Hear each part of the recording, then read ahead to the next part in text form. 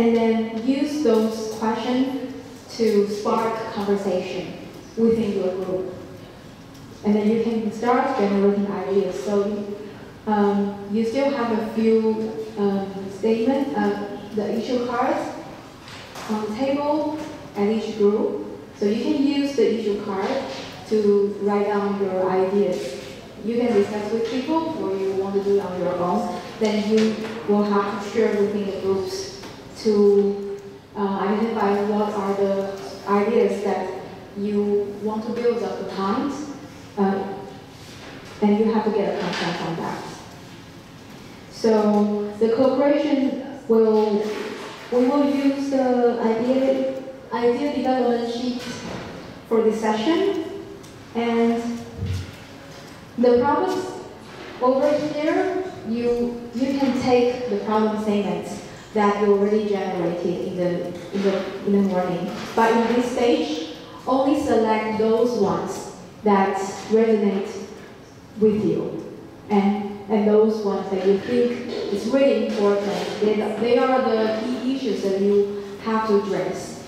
And put them in the order with the priority. Then, after that, you can think about value. So what, what values should we hold? Is there any conditions?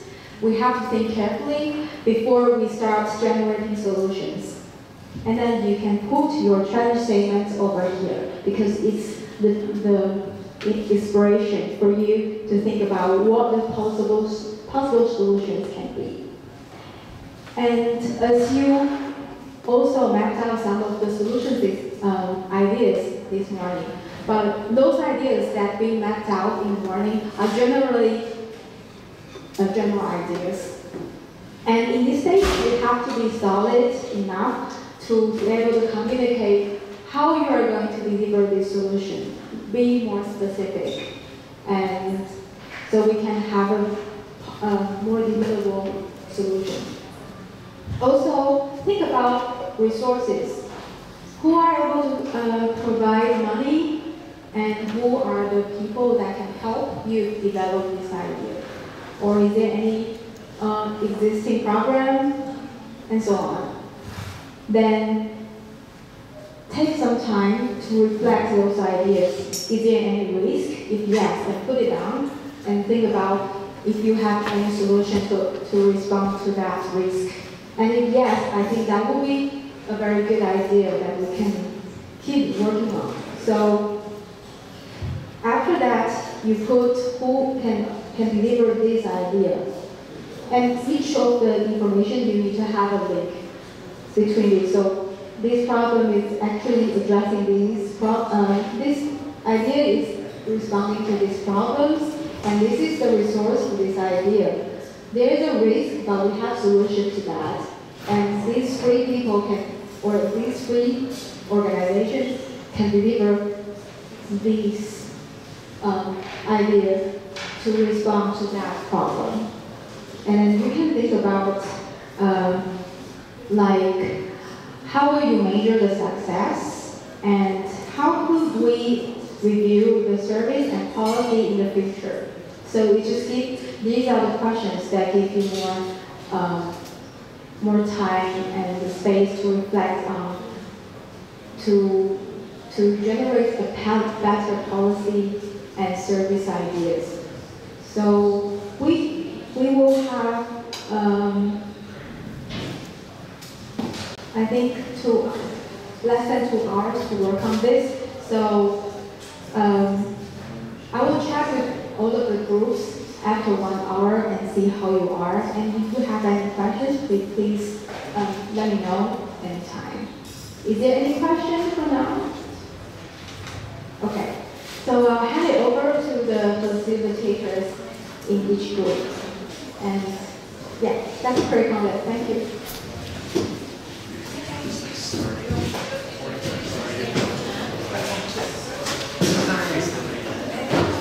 Oh, Prioritize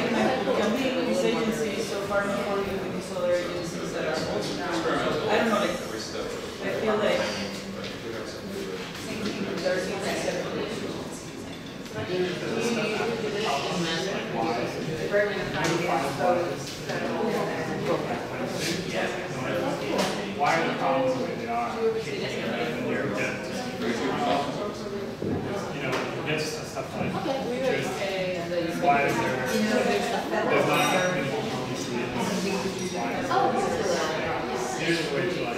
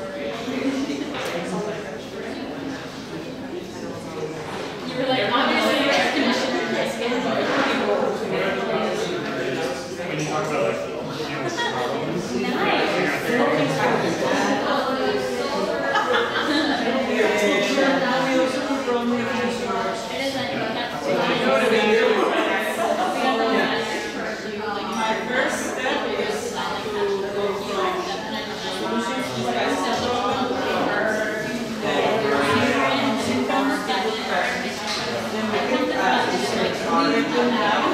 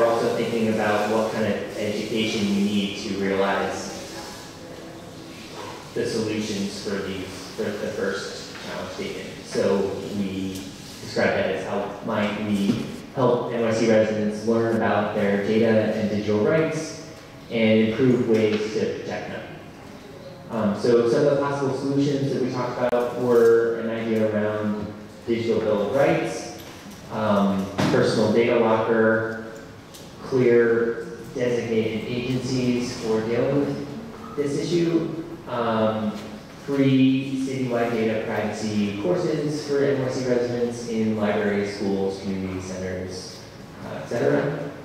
Um, and then an idea around residents getting an annual data collection report that includes information about what government and non-government collected their information and how it was used. Um, so we have a lot of interesting ideas there around the mechanisms for that. Could it be something that comes to you on your with your tax return?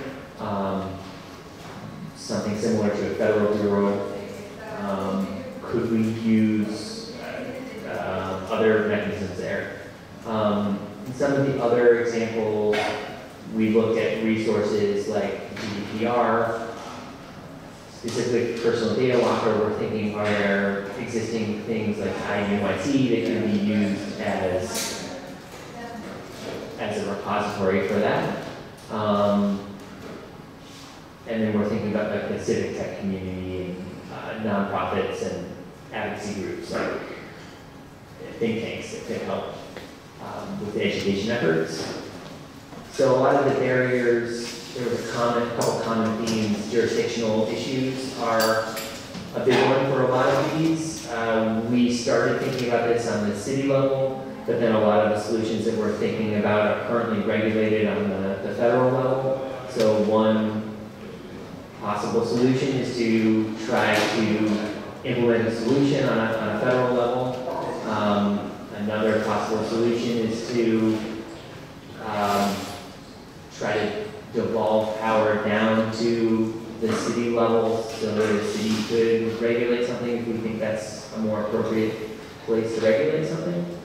Um, some of the other uh, uh, barriers that we we, talked about are, um, who has access to credentials, uh, which is varying degrees for some of the possible solutions we, we presented.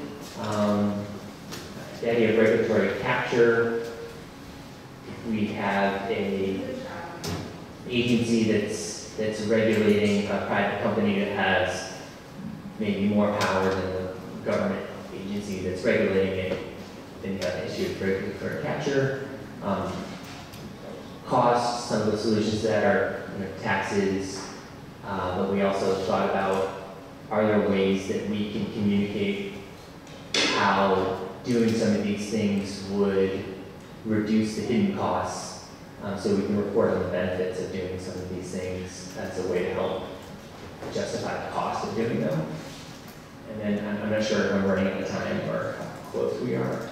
You still have three minutes left. Okay, three minutes. Um, I think, uh, yeah, okay, so we're good on time. So the responsible lobbies, you know, was, we definitely thought about it in the local government and the federal government and which way is appropriate for which of these solutions.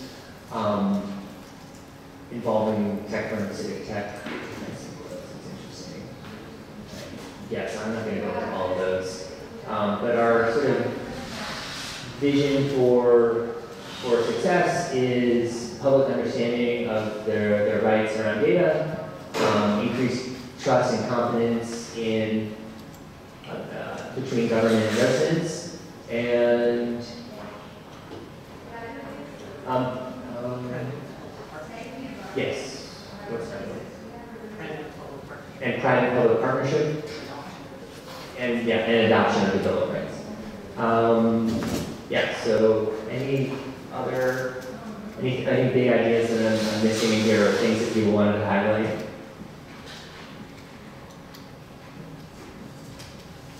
Thanks. Thank you. So let's move on to the next group. Who's, who wanna go next?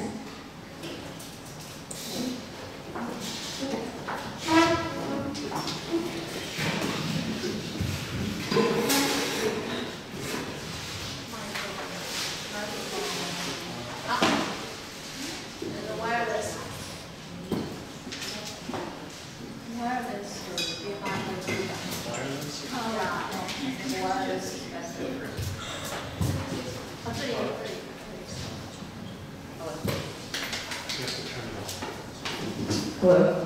Hi. Um, so we struggled a bit with the scale of the issue or um, problem that we wanted to start with, uh, but we decided to um, use a very specific use case that one of us has encountered and um, use the tool to think through that. So, um, actually, The use case that we started with was um, being able to find out, uh, so the problem that we had was it's not clear what data sets are for what. We're talking about um, data that the government has and how can citizens um, use that to learn more about the city and things that are important to them. And so the specific use case that we were thinking about was um, the data of rent stabilized apartments. And that data is out there, but people actually, like I, for example, didn't know that my apartment was rent stabilized. That led me to thinking, well, what are the other rent stabilized buildings in the city? And if someone were to come to New York looking for an apartment, shouldn't there be a really easy way for them to search for an apartment that is rent stabilized? Um, so, so related to that, the statement was renters need a way to see specific information about apartments, like which are rent regulated.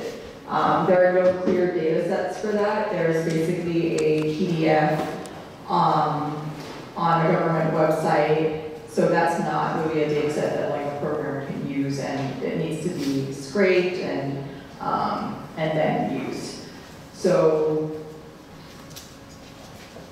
that's what they currently have. And we extracted other problems related to that, such as um, clean, accurate data set posted.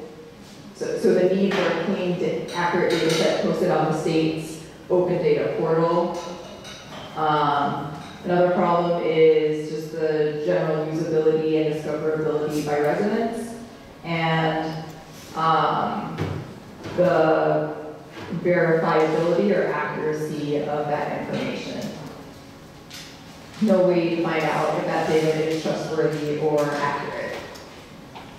Um, so the values that we hold are accuracy, want to make sure that, that the data can be easily used, and I'm not sure what was timely again. That it's, that it's published timely, yeah. So like static media. What's that? So it's not static. Oh, that it's updated regularly, yeah. It can be accessed in a timely or can be accessed in a timely manner. Um, so our challenge statement was how might we enable renters to quickly find rent, rent regulated apartments um, and their eligibility for them, or enable renters to find. I don't know. I think we just settled on this one, right? Yeah. Yeah. Um, so a couple of the possible solutions that we came up with was um, a task force to liberate or structure the city relevant data owned by the state. So basically like a, um, someone to play the middleman part to make sure that um, the data that the city has is structured in a way that is usable for residents. Um, and then a risk and barrier to that is that that is highly politicized.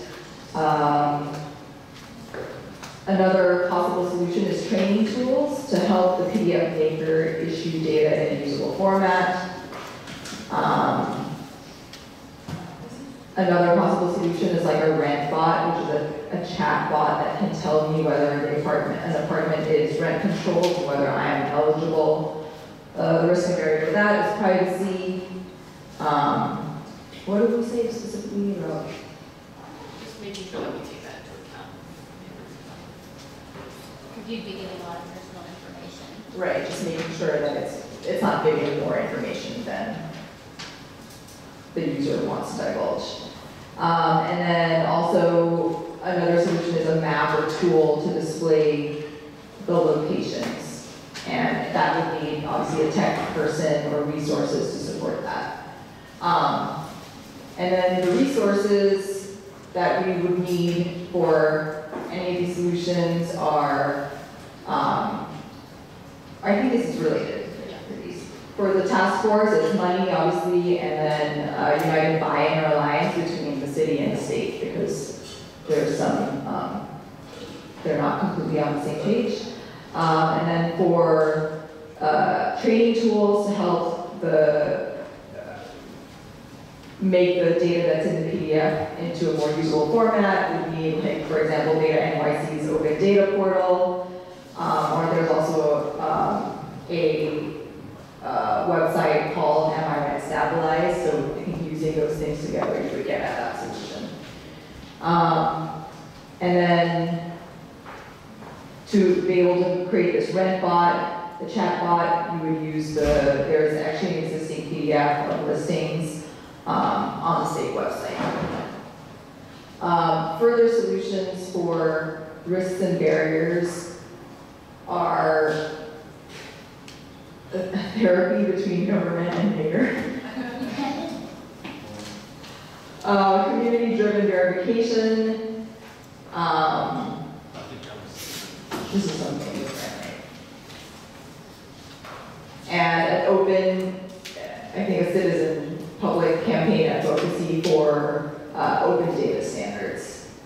Uh, some of the responsible bodies that we've identified are the Housing and Preservation Department, Rent Guidelines Board, basically these are all the organizations that have, that have this information, just not in a useful format. Uh, renters associations represent uh, renters and residents, uh, housing advocacy groups, uh, sites like StreetEasy, real estate, other real estate sites, and New York State homes and community renewal.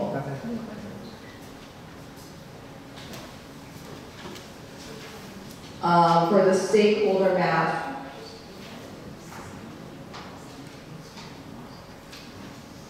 the core is, uh, for, on the city side is the state-led government, and then, um, obviously, New York City renters, they're sort of the, um, the subject, I guess, of this problem or issue. And then, um, directly, the, the next circle would be NYC landlords and civic tech devs, who would be the ones creating these tools and trying to figure out how to make the, um, data more usable and use that for these tools. And, um, indirectly, private companies like Palantir that collect data, um, government agencies, um, philanthropists, and, um, homeless people. Do you want to add something to the homeless people?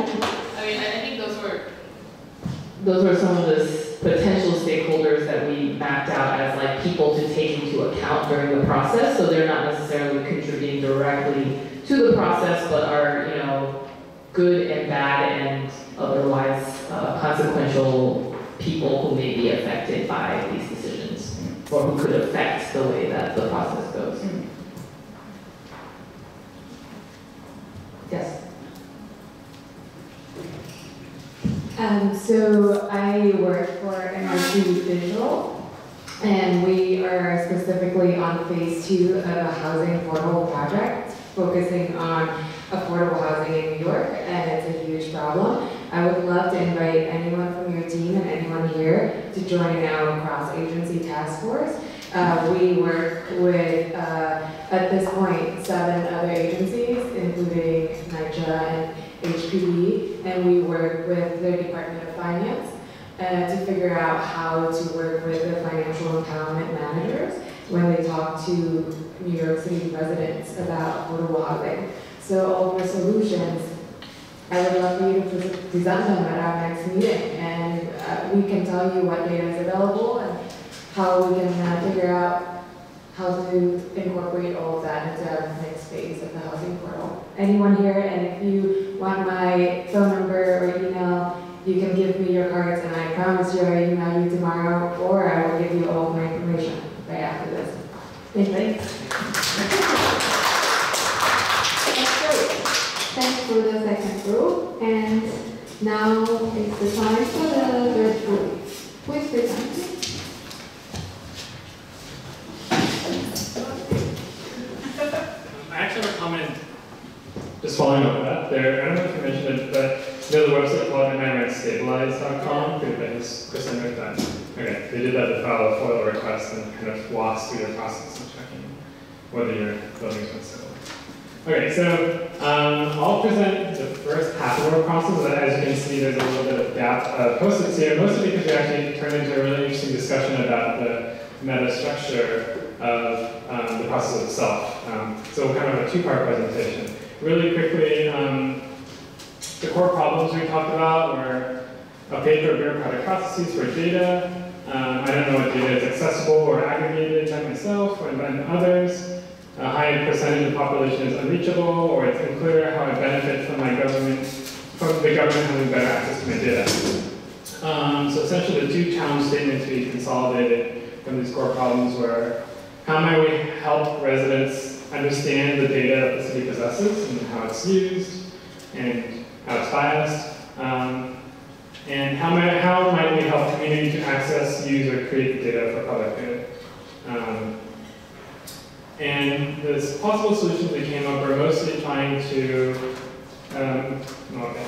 There, one of them was a consistent metadata standard and a notification protocol that alerts and notifies people of eligible programs or services. So kind of tying into the first one or a chatbot, it would be like, hi, your apartment is rent controlled. Looks like you might not know, or hi, you might be eligible for free healthcare. You're like in a demographic that may be eligible for free healthcare, just so you know, or some way to better connect um, uh, people with uh, services. Um, we talked about using open source CKAN, community knowledge something network software uh, for like a data repo.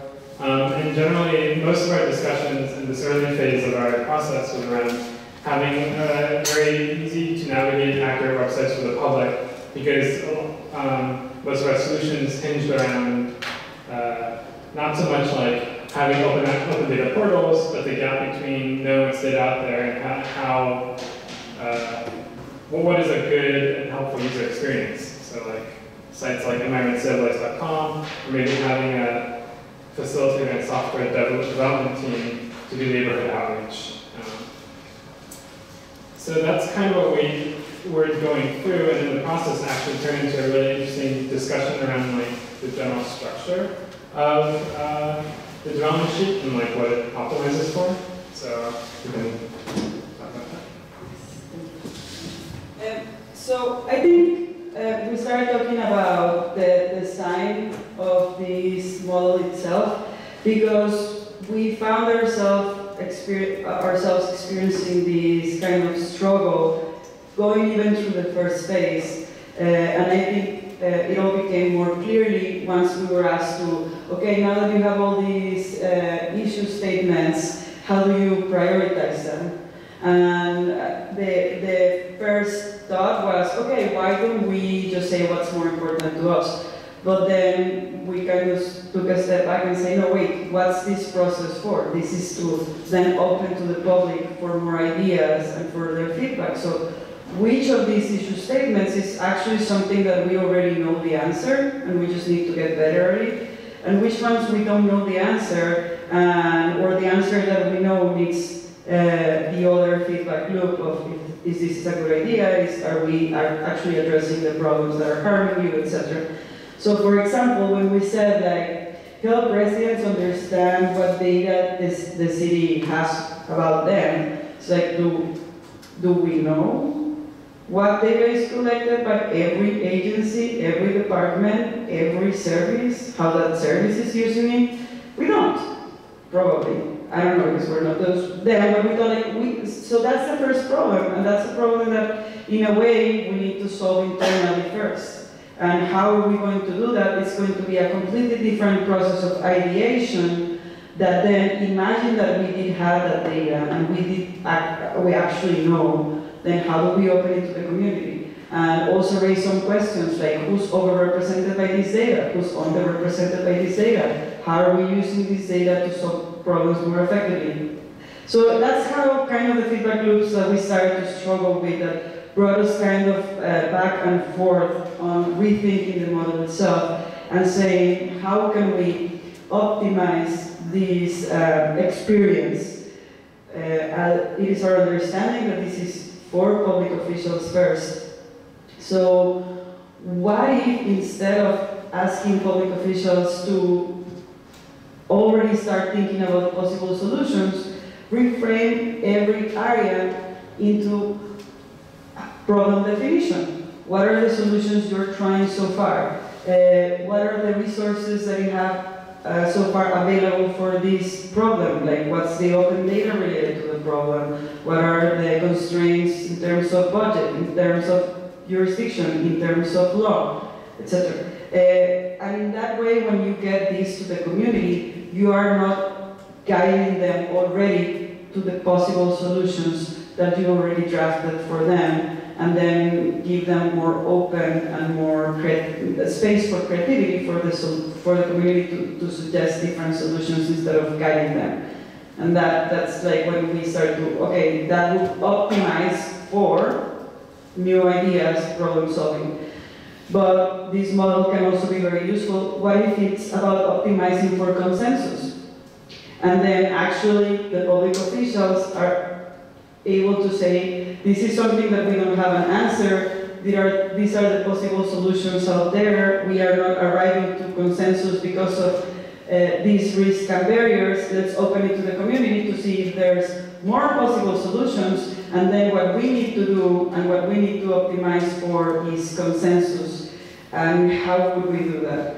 So it was just more of a conversation about the tweaks of the model, what, what can, how can it be used differently, um, depending on the ultimate goal that you want to get to. And that's uh, the result of this teams' work.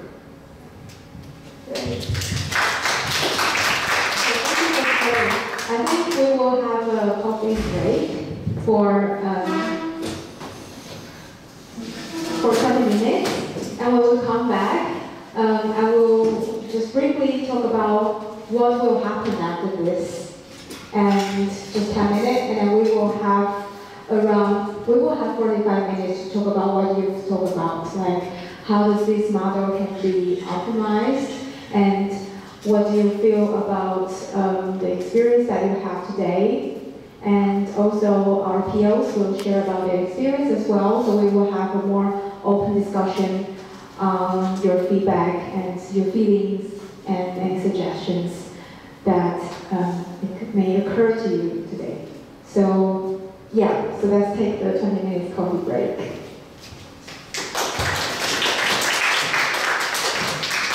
One small announcement, we have tried to make everything vegan and veggie friendly, but I do want to warn that the uh, Rice Krispie treats have pork gelatin in them.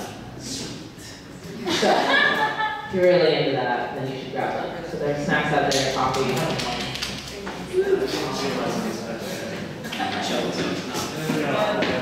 Yes,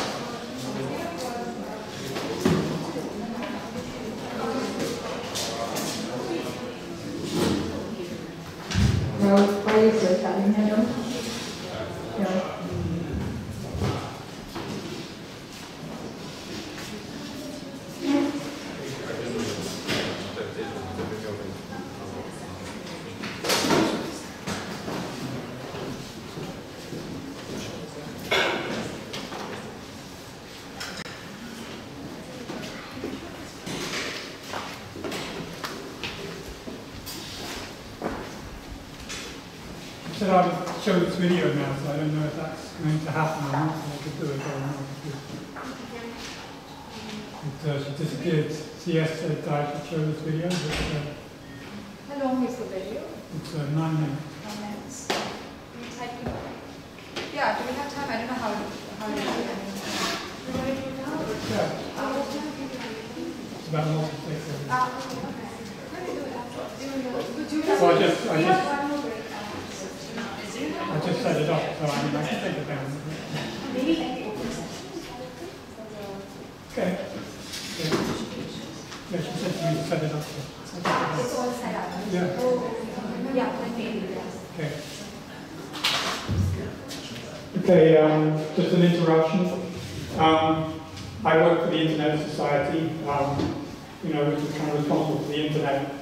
And, you know, the history of the Internet was a, was a Department of Defense experiment, you know, which grew and then became a research thing that was run by the National Science Foundation until about 92 when there were, you know, it became, it became commercial and the National Science Foundation wanted to let go. They let go the backbone over to MCI and so on.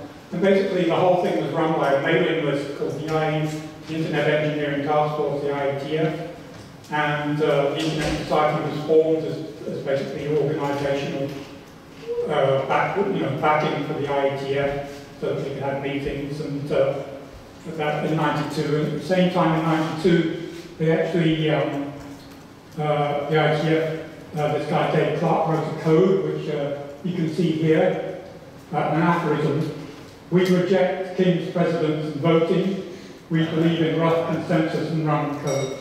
And that is the, uh, motto of the IETF. And uh, that was in 92. This one, you know, so the system is they do request for comment and then people comment on them. Um, and uh, this is RFC 7282 from 2014. So how they make consensus in the IETF is that uh, they hum.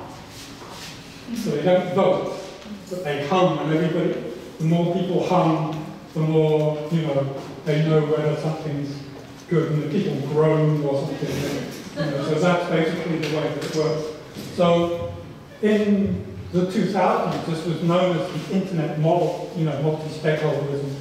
And, uh, and it's only sort of more recently that we've come to appreciate that this isn't really the internet model, it is multi-stakeholderism.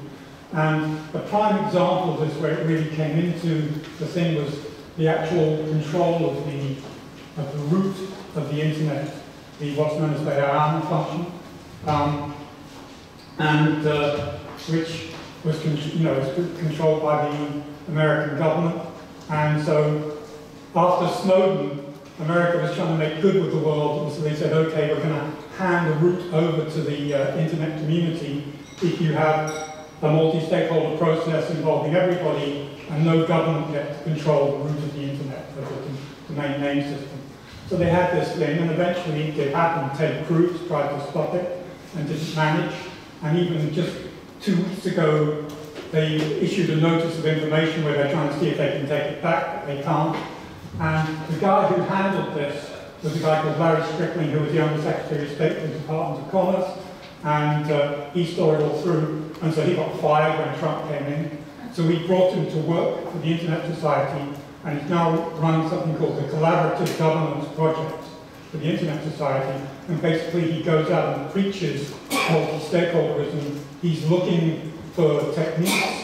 I write to him and say, look at this Taiwan thing. I have written to him more than once, and he's beginning to think about it.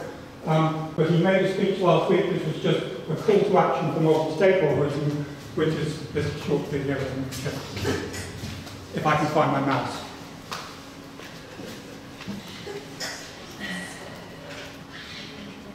Anybody can see my mouse on that? Oh, this is the one. There it is. Uh, I can get to there and switch on audio here. And find the go button. deliver a call of action to each and every one of you. A call of action that each of you commit to get personally involved in a multi-stakeholder effort to address key internet policy issues, to find consensus approaches to dealing with the issues, and to implement those solutions. Now, is that too much to ask at nine o'clock this morning? I don't think it is. But, but to do this, you're gonna need some help. And I'm going to provide some help right now to those of you perplexed and confused by the multi-stakeholder process. First, We need a shared understanding of what is the multi-stakeholder process, and we need a shared understanding of what it is not. Now, there is no single model of the multi-stakeholder process, but for purposes of this discussion, let's focus on the key attributes that define an authentic multi-stakeholder process. One, it must be stakeholder-driven in that stakeholders determine the process and scope and direction of work. Two, it must be open and inclusive, both in terms of allowing broad participation and in ensuring that all issues are addressed. Three, the process must be transparent and accountable to all stakeholders and to the public. And four, outcomes must be consensus-based, delivering positive value to the greatest number of stakeholders. Now, a multi-stakeholder process that exhibits all of these attributes is most likely to be one that will be accepted as legitimate by the stakeholders and the public. Just as important as what is a multi-stakeholder process is understanding what it is not. And one, it is not an ism.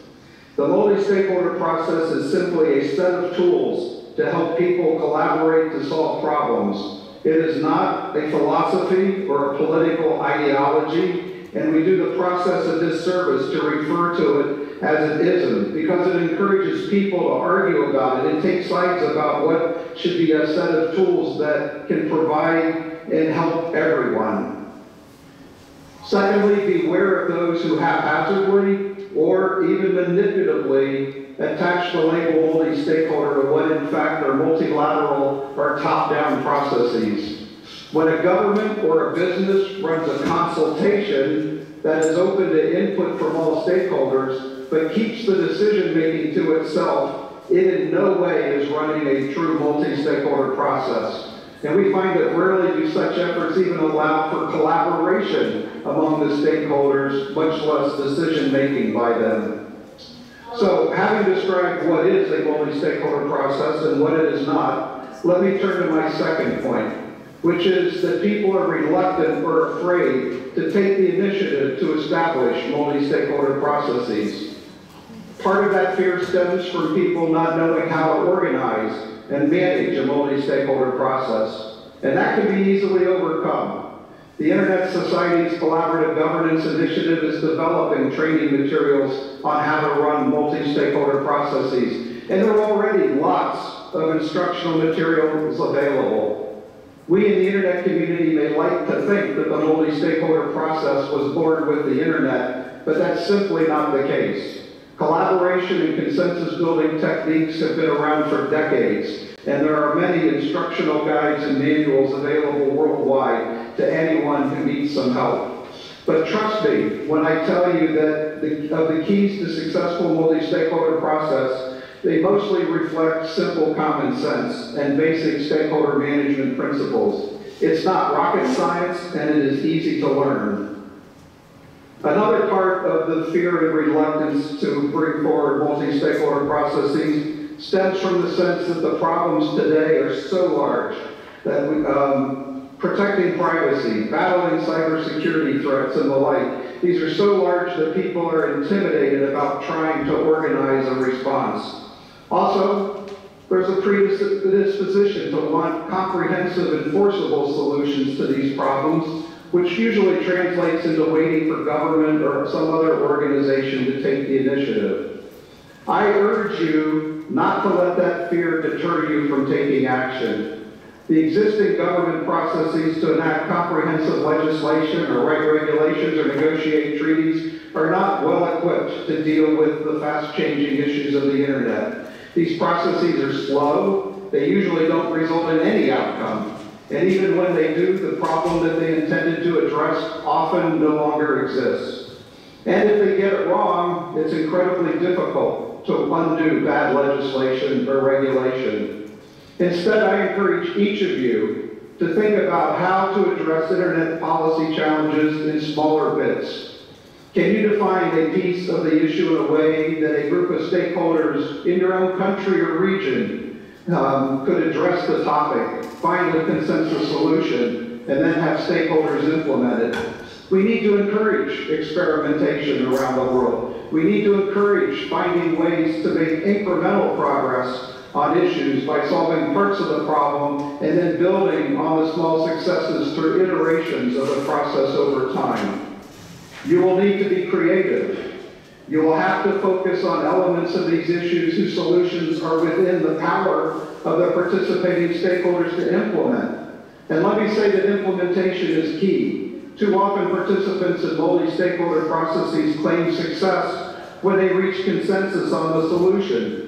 But then they fail to address who's going to implement the solution and how it will be implemented. You must focus right from the start to define the problem to be solved in a way that allows the parties to the process to implement any consensus outcome. As an example of what I mean, take the issue of disinformation or fake news online. Some of the responses being discussed involve creating comprehensive regulatory frameworks for deciding what is disinformation and what to do about it. Absent of government convening the multi-stakeholder process to create such a framework, there is little use to having you organize your own process to develop such a scheme. You have no authority or ability to implement the framework, and because of that fact, you would have a hard time sustaining such a discussion for any length of time. But that doesn't mean it's an issue you should stay away from. You can make a contribution to solving the problem. What if you convened a multi-stakeholder process to develop and implement an educational program on media literacy? You could certainly identify a set of stakeholders who would have the ability and incentive to design and deliver such a program. Now, none of you can do this by yourself. You need to work together with others in your community. You need to recruit stakeholders who will represent all of the key views that have to be addressed. But it takes a catalyst, someone who steps forward and takes that lead to initiate the discussion. And each and every one of you can play that role of, as a catalyst. No matter how narrow the issue you take up or how limited the geographical extent of the discussion, every successful multi-stakeholder decision that is implemented provides input into new norms for answering the challenges before us. Over time, they will combine and compound into broad solutions, and if and when governments decide to legislate a comprehensive enforceable approach, they will be guided by the aggregation of these individual solutions. Commentators refer to the internet as having allowed permissionless, permissionless innovation. The idea that allowing experimentation with new technologies without requiring government or competitor approval. What I'm urging all of you today is to engage in permissionless problem solving. If we all make it our responsibility, perhaps we can spur the next great leap forward for the internet to better recognize and respect human rights, to better deter cybercrime and cyber attacks, and to better meet the needs of citizens around the world. And all I ask is that you give it a try. So please do it, and I thank you for listening to me this morning. Okay. Yeah, I come before you.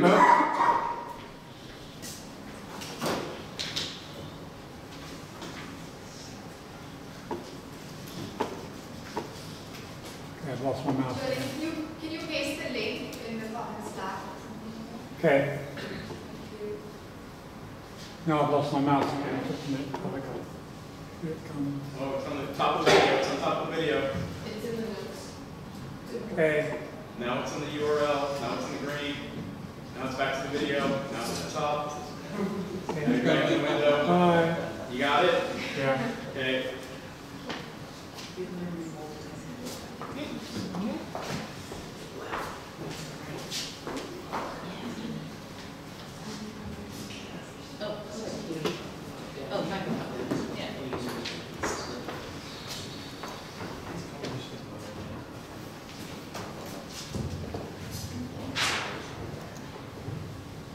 Thank you for sharing this video. It resonates with our exercise a lot um, from today.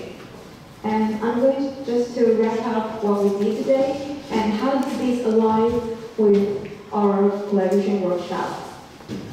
So there's something that we didn't um, demonstrate today was actually um, the, the preparation, like how can we turn the preparation into the material that we use during the deliberation. We didn't uh, actually stimulate the part how people um, uh, deliberate on those um, materials that we prepared because it requires like two or three weeks time to get a chance to synthesize all the information, reflect and critique on that, then present it back to the wider stakeholders, and then they can add extra comments on that.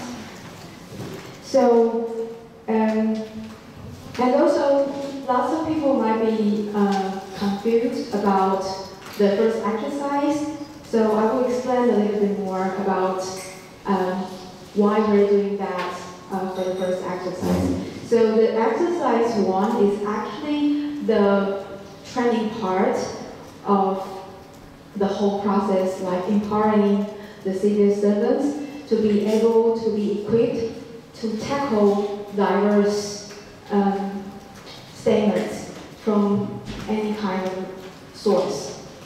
So that's a training session for them, and then after the training session, the outcome will be aggregated, in single synthesized, and on this on this big canvas. So this is actually the working document for the civil servants.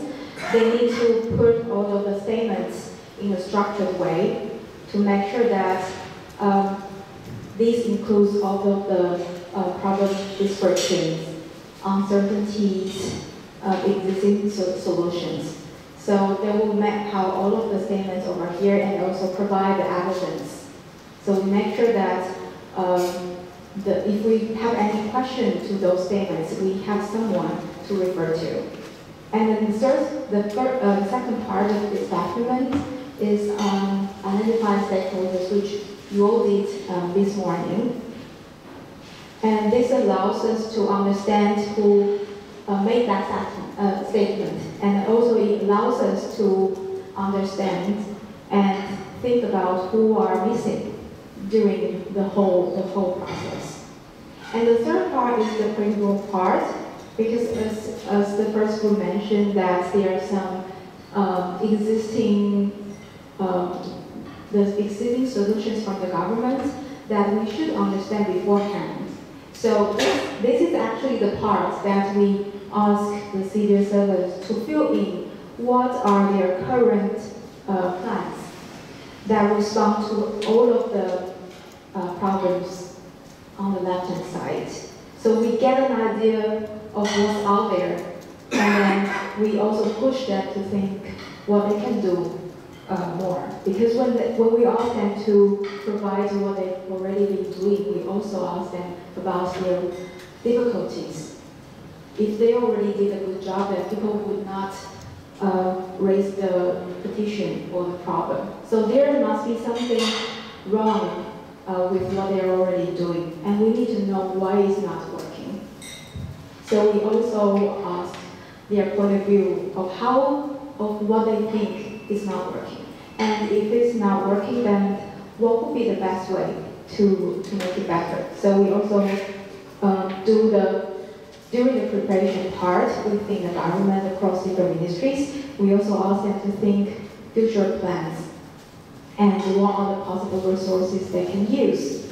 So when we all have those information before the actual deliberation um, during the cooperation workshop, everyone can get a good idea of what's going on and what we can build upon that. So this is something that we didn't do today, and if we actually have this big plan before the deliberation, I think um, things will go more smoothly. Um, uh, during the exercise one. And so after that, uh, I showed you the, I mentioned you the real-time board here. So in the actual preparation stage, uh, we will finish this big canvas of um, the whole picture research and then turn that into a mind mapping, uh, a mind mapping uh, diagram that we show this in the beginning of the deliberation. So when people uh, come and see those information, they can actually add their comments on it. So we don't actually give people post-it. People can write on post-it, but they can also talk about it. And we have um, our colleagues writing the comments on the digital version of the post-it real time when somebody talk about something. So everything is being uh, documented real time and being visualized at the same time. So people don't just talk about things come from nowhere. They actually have a structured uh, information they can discuss by the different order, and they can also um, this prevent them to talk about the same thing uh, again and again, and this will force the um, conversation to be a more solid situation. So this is the part that we didn't demonstrate and that you uh, practice either. And so during the deliberation and cooperation part, we will actually present this from uh, people, uh, the, the secret servants from different ministries will do presentation based on this structure. So people can understand the mind mapping better because not everyone is familiar with this, but they can listen to the slides from the representatives from the ministry.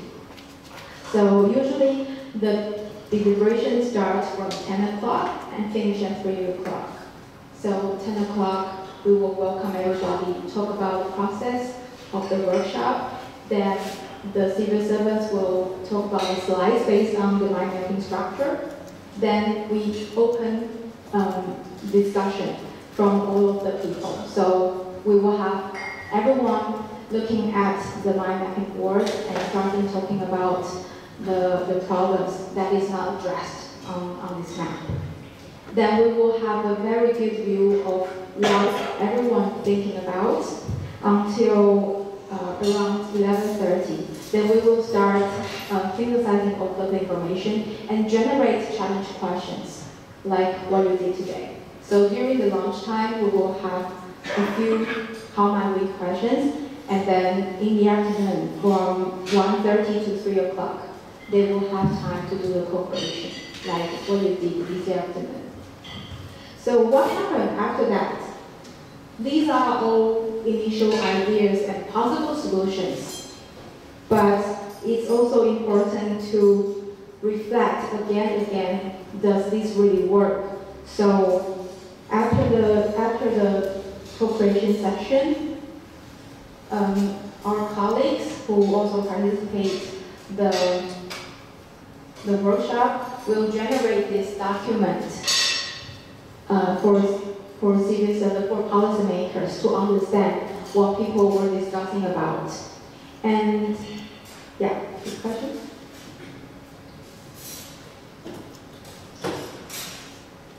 Oh, uh, just about the um, categories of the comments. It took our group a little while to figure out what categories to use, and I noticed like that they were similar but different to the other groups.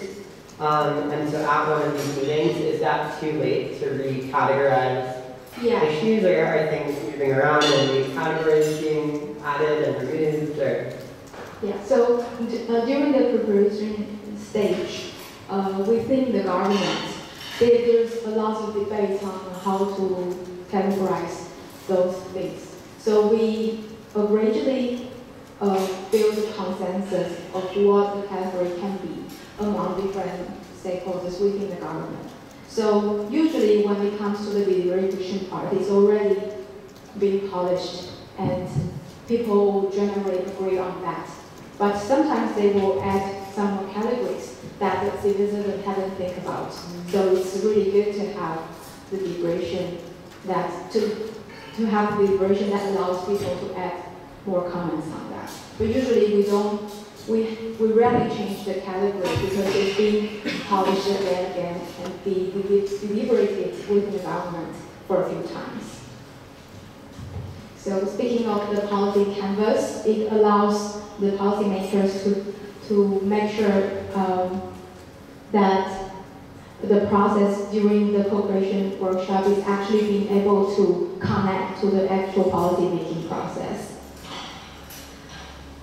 So, and but this is not still not enough. Like when when we want to reach the the uh, deliver stage, like what I mentioned earlier about the double diamond process. The, box, the policy canvas is probably something around here. And we need to make sure that uh, we have a good understanding of how we can deliver that better. Because there are those points that what can be done in the future, but how can we do that and how do we measure the impact and how do we make sure that people can really uh, benefit from, from, from all of the solutions? Or can these really respond to people's uh, problem? We need to carefully think about that during this process. So it will usually uh, involve lots of meetings and editing different words, and also include the comments from the from my staff. So they usually give a really good view of how these these things can can work. So and when everything is being um, identified and being made sure, I think that's the, the point where we can deliver that. But the process doesn't usually end over there. We expect people to be able to keep irritating the process even when the project is delivered, but it's really difficult within the, within the government. Um, so yeah, I will wrap up over here, and now is the time for open discussion. So if you have any thoughts and any feedback, just feel free to, to let us know because the, we actually the idea idea development sheet we we um, iterate the model every month, and this is just being finished a few a few days ago. So we keep updating our process based on the experience from the participants. We interview any kind of stakeholders after the workshop and, and understand what we can do better and what we're good at doing. So it keeps the model um, growing and we want to optimize this model. Um, just keep it, it uh, iterating and try new things and we fail, we learn. So we, we want to keep improving. So today we also would like your feedback as well. And so during this uh, session, me and Patricia and uh, Shuya and Tiffany and Audrey will take questions from, from everyone. So who wants to go next?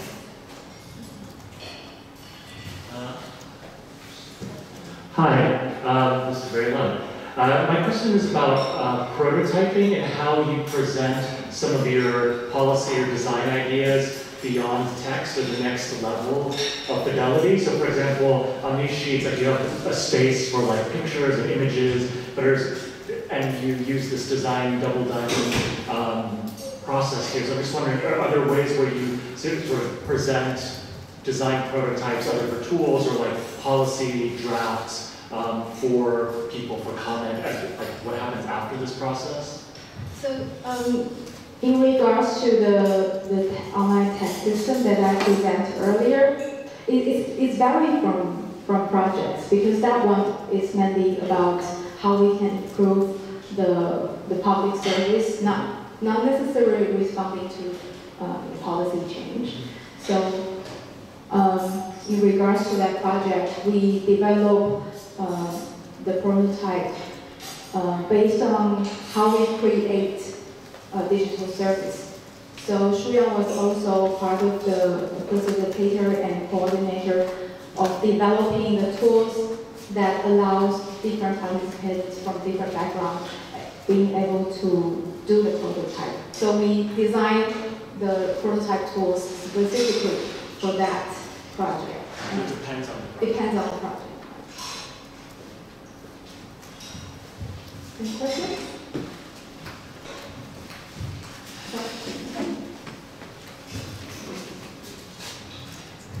About the,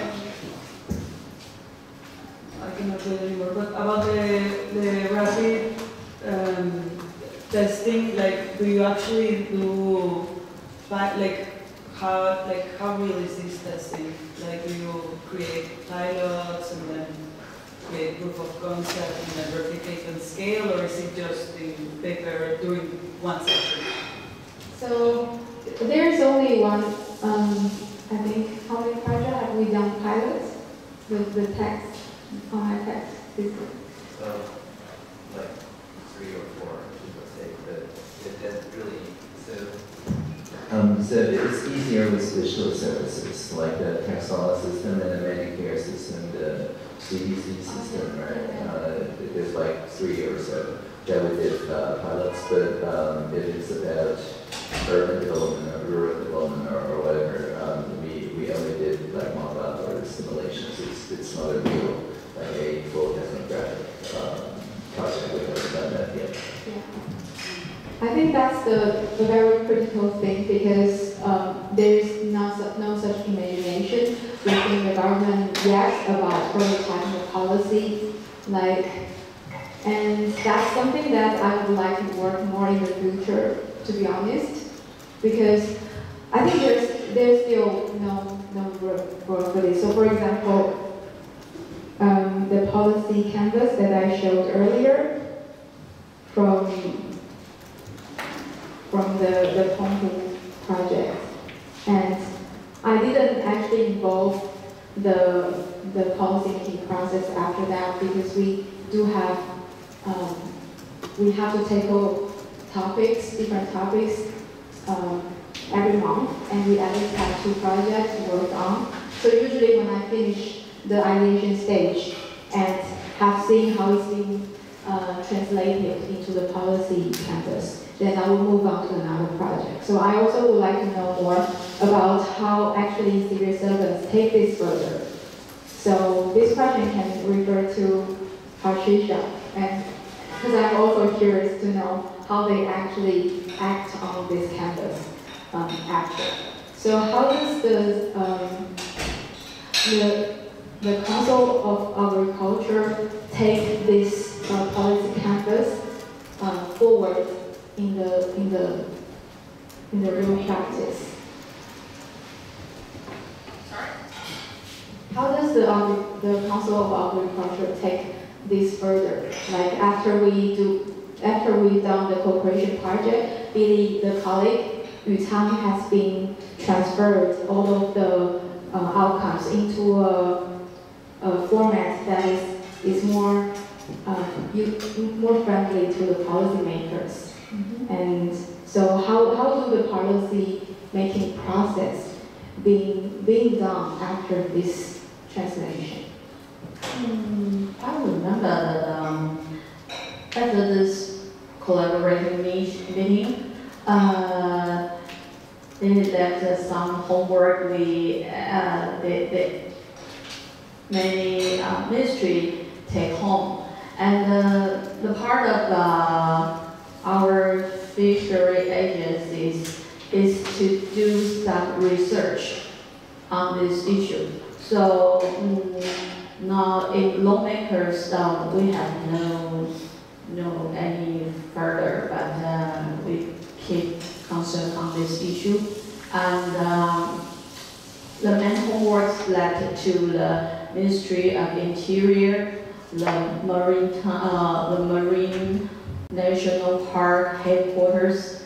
They have to uh, communicate, communicate with the fishery community and the diving lovers, you know.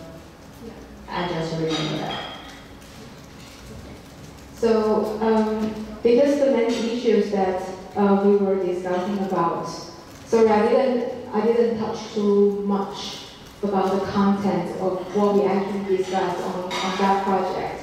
But the main issue that uh, has been raised during the workshop was um, like, should we, should we limit the amount of the fishery industry? Um, and also like the tools that they use to, to, to capture those, those fishes, do, do we need to make it even more harder for them? And so, but, but in order to make that decision, decision, we need to research a little bit more on the environment perspective. And there is a limitation of the documentation and the research around that. Like, should we really protect that area?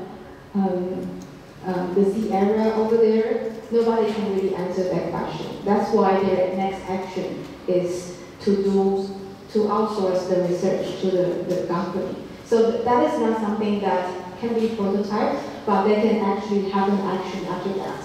And that's, that is one of the problem, um, the, the solutions that we came out during the workshop. So that has been turned into an action.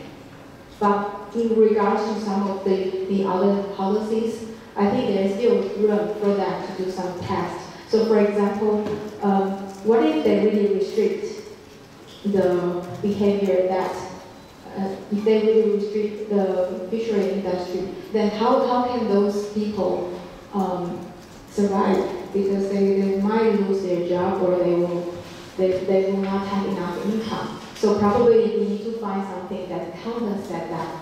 And, and how can we do that? We actually have to prototype that. But I still didn't, I, I didn't see that happen.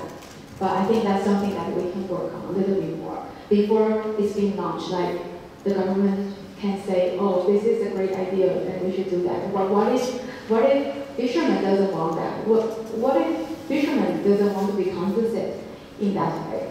I think that's something that we can prototype on and we have to work more on that.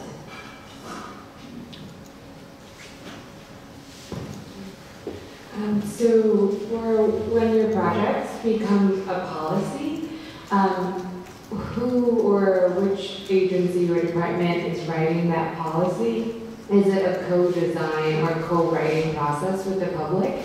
And before it becomes an official policy, does the public get to review it one more time to give their comments? And is there any iterative process with that? So during the cooperation process, it's actually the, the opportunity that allow, there's an opportunity to, that different stakeholders to write a policy together. And after that, there's, um, the, the people from the uh, from the civil service, they will translate the outcomes into the policy terms. And they get a chance to review if it's going to uh, be implemented, take, take further or not. But that's also the critical part because sometimes the participant, not all of the participants get a chance to involve in that decision-making process. But sometimes they do invite them to come to the meeting, so it's varied from different ministries.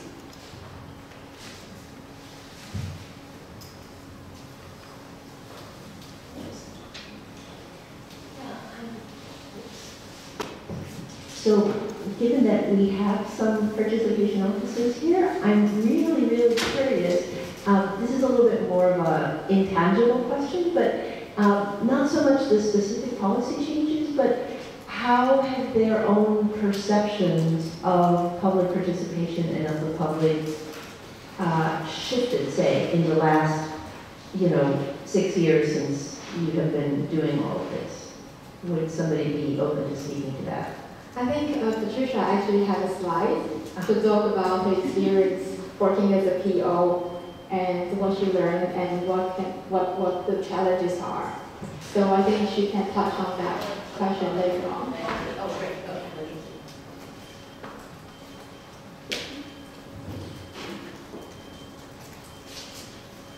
Um, uh, one idea that came up in our group was uh, just the difficulty, I think I already said it, but putting things into categories. And when you mentioned like feedback, um, I was interested in what a tagging, or like we started to think about what a tagging system might look like because so many issues seem to cross categories, and especially if you're working in um, a digital space, is there some other way to like spatialize issues so that they're not so strictly bucketed? Um, so I thought might be interesting.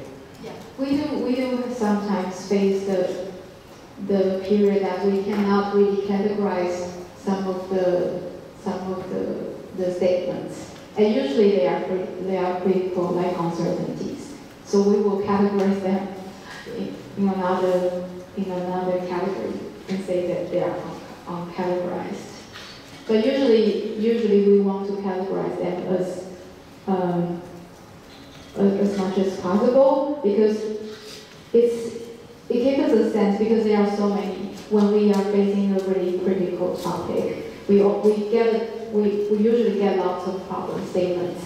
And the cate- category allows us to discuss the issue um, in particular order. So people don't talk about things like, oh, I talk about privacy, and then the the the, the, um, the next person will talk about, oh, how can we make uh, data, like how can we best utilize data, and then the conversation will go nowhere. So that's that's why we want to categorize things. But in, in regards to how we do that, we usually um, it's there's no certain methodologies to do that.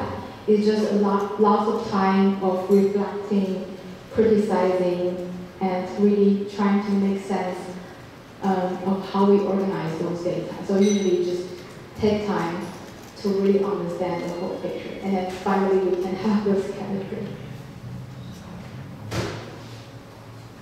Because sometimes um, problems say if, if there say there are three people want to address uh, one particular problem, you, um, people can address that in different ways.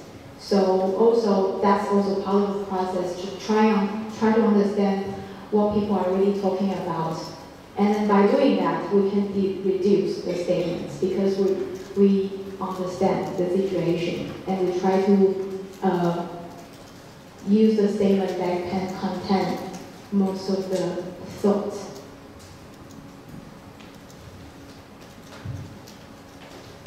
Um, In terms of the, the model itself, and you doing pilots and testing the impact of the model. Like, I, I understand that there's like a common structure or architecture, and then based on the needs and the problem itself, you make a lot of decision choices, uh, design choices out of it. Like, oh, for these we do a pilot. For these we go to the communities. For these we, uh, are are you documenting the why are you making these design choices? And is are you in a way measuring impact as to this has been more successful? That's a really good question. Both things are uh, the things that I'm currently doing. So I'm writing a, a paper about um, the things that we, we've been doing for the past two years and try to document the process. And also in the paper, I will be really critical about what we're doing and what things can be improved because there's there's still a gap between the ideal process and what we can do due to the um, restrictions within the government. So yeah, I, I'm happy to share with you the paper once once I finished. And the second question um, is about measuring measuring impact. Yeah, like is there some maybe testing or? Yeah, so so how we do do the um, the testing is actually today is also a part of our testing as well, and we use the following workshops to test um, our approaches. So uh, we we have 36 collaborating workshops so far, and every workshop is slightly different because we learn something from the previous workshop and we test something at the next workshop. And we do document those things using the mind mapping. It's, it's a mess. and we're still, we're still um, synthesizing all the ma- information that we aggregated. We did lots of interviews, so we keep all of the transcripts in our document. And we are still at the stage of analyzing um, people's feedback. And if there is something that is actionable, we put it into the next uh, workshop and we test it and then we. Yeah, can you talk a little bit more about how you debrief with the team after one of these sessions? Do you have like structured notes? You know, do you have a structured process, right? How you do a debrief? Like what, do you do it for two hours the next day? Or how do you, how do you, you know, so how do you factor in the, the feedback you get? How do you debrief with like the core team that does that facilitation? But within the core team, we do have a, a, a document that have a list of what we have to do uh, before the workshop and during the workshop. So we have a, um, a document for internal uh, colleagues to understand the process. But it's, it's not, it's, it's written in Mandarin, so I cannot show you. And then after the process, do you take, do you ask a certain set of questions that you evaluate yourself, that you evaluate the process by? You know, Yeah. you take those notes, do you have like a, some industry call it like a hot wash, like where you try to get people to express their frustrations with the process from within the, the core team? Yeah, so um, it, sometimes we um, have internal meetings after the cooperation workshop just to get everyone, core team's idea about what they have been experienced and what can be improved, and we document all of the, the discussions. Does that answer your question? You just have all these nice templates, I was wondering if you had like a, like a worksheet for that. Oh, we, we do. There are two ways of documenting. Um, for one way is uh, just a Google Doc that we, we write down what we've been discussed and we put that into format. So actually, there are a few discussions that we have are like have, they're so informative. So we actually put it in this way, like we use uh, issue mapping instruction to put in. Like we use this structure to identify and document the problems that, that we can improve. And so, yeah, this is the way that we are working on. And also another way is to turn this into a mind mapping um, diagram. So we can see those um, problems and what we can uh, grows in a more holistic way. So mind mapping and issue mapping structure. Yeah. Uh, Of the 36 workshops that you've held so far, how many are there with the same participants or the same type of participants, the same places, and/or the same issues in different places? Like, I'm just curious, how much of they are built on versus a completely new process from scratch, so to say? Um, in regards to the participants, um, usually they, they are varied from, from different um, workshops because the topics are different. None of the same, so if I participated in your third workshop, I'm not participating in the 10th? Usually not. Just one, okay. Yeah, and even even that um, the ministries that um, are in charge of dealing that um, particular issue because there are 31 ministries and some of the project they, they may attend workshops for a few times. And even though um, there are only a few uh, civil servants from that ministries have been participating in the workshop for more than I think usually, so far as, as far as I remembered, the apart from PO because they, if if they um, the issues is related to their ministry, they have usually have to come to the workshops. So us- usually the civil servants who involved uh, in the workshop are the POs, and then there are civil servants who are particularly working on that policy or service. They will come to the workshop, but even they are not usually coming here because uh, the government is such a big organization, not, and everyone is working on very specific things. Have you done any research with citizens who participate in these processes? Understanding afterwards, does it change their attitudes towards government or democratic processes? Or like how that kind of citizen level cultural change is happening?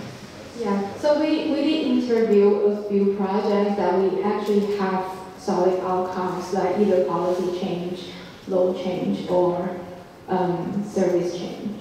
And those participants, they find the process um, um, really informative and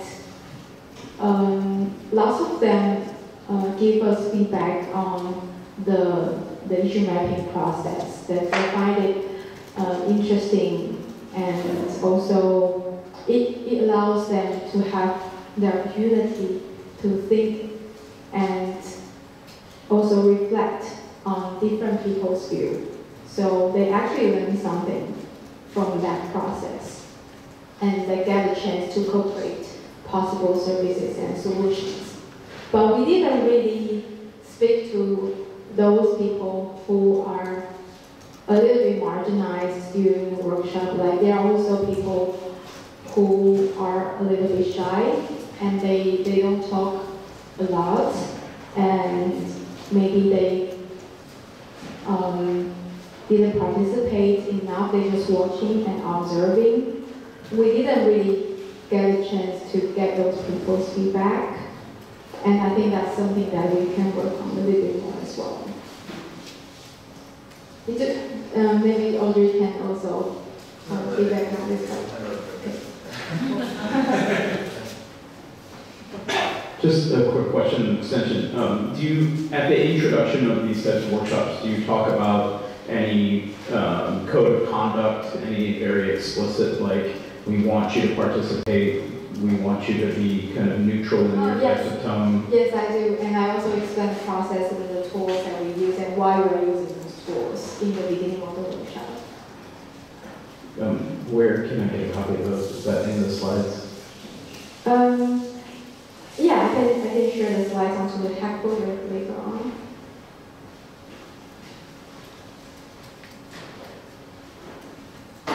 And any, any difficulties that you find during the, during the process?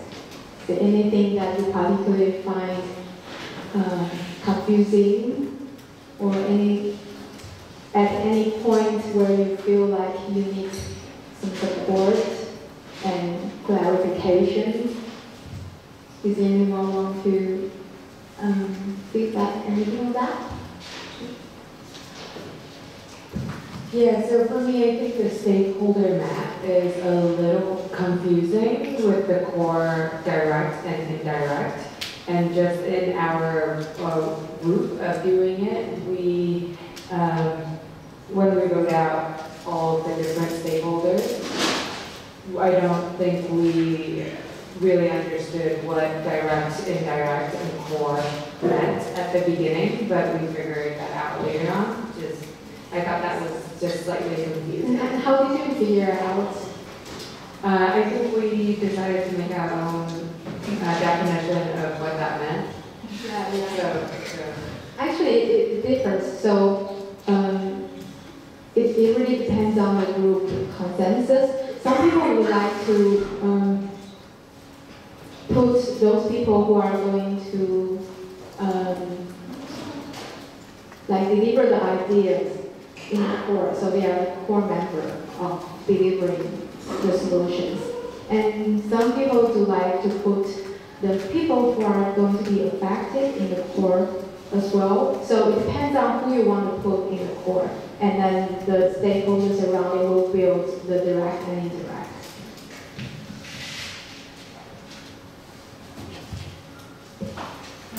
For, for me, the, the aspect that can, where I see more area of opportunity is on the problem.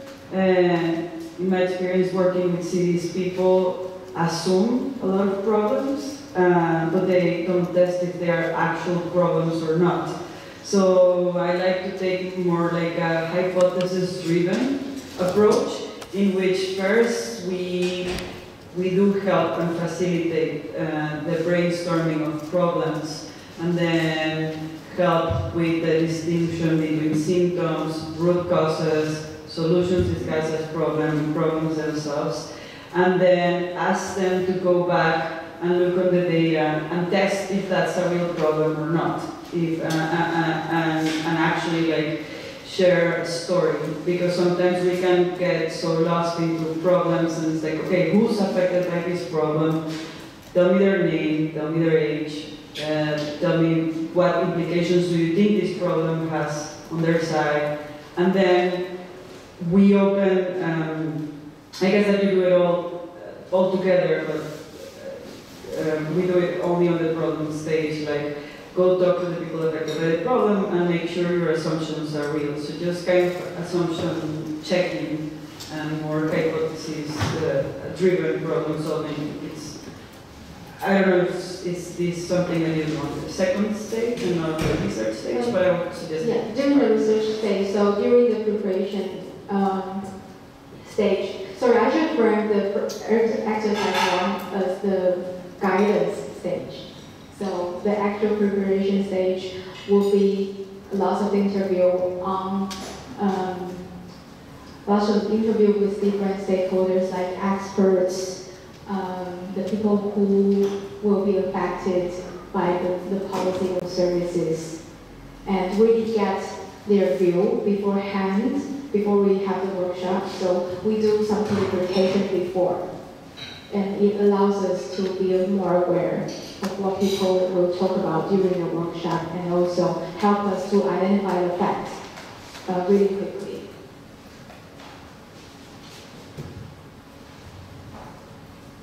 And also the literature review as well, to make sure that we have all, all of the facts, as, as many facts that we, we can have.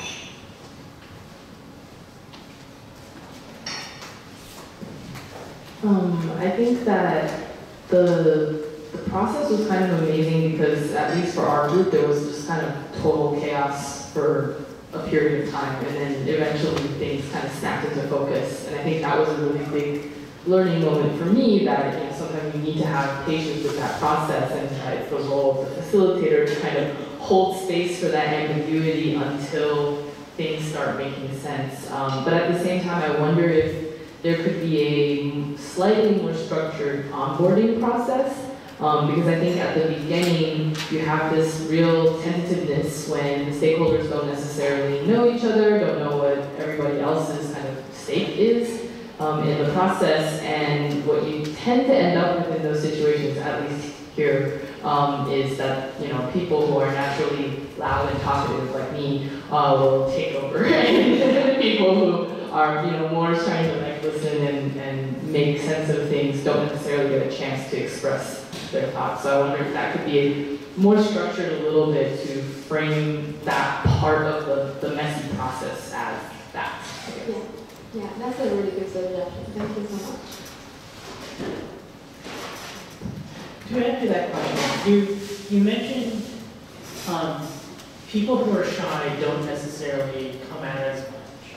So like, what do you, especially in places, well, honestly, like the United States, where the loud people take over and the shy people just back away, what, what do you do to draw out the, the, the sentiments of the people who naturally just back off? Yeah, so, so it's really important for the facilitators to, to do some research about who is coming before um, the cooperation workshop, so they get a sense of who will be talking about what.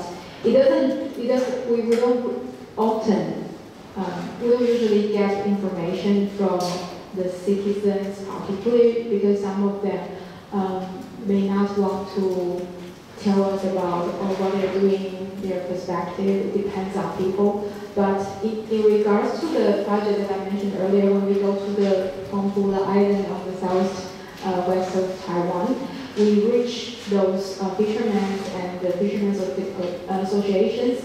So that's another way that we get a chance of what they might be talking about during the workshop and give us more awareness. So it depends on if, if we really want to facilitate the discussion. I think a certain of preparation about the background of the participant is very is very crucial. But we don't often uh, we don't usually get a chance to, to do that.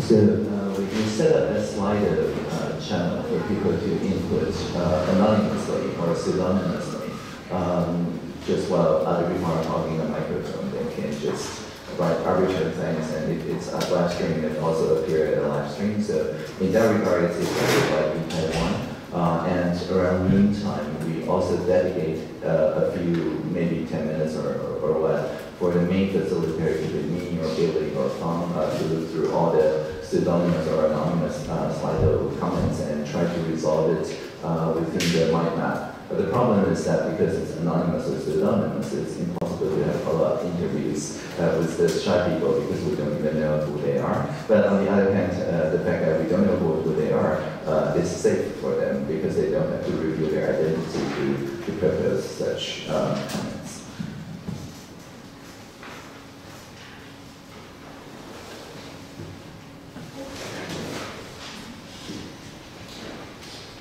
Um, What's your like internal training or like your pro- when when within your team you're like testing out an exercise or perhaps like training other people within your team? What's your process for how you kind of share your internal skill sets? Because what this is is kind of like a simulation of the practices that you do already, but like within your team, what kind of exercises do you do?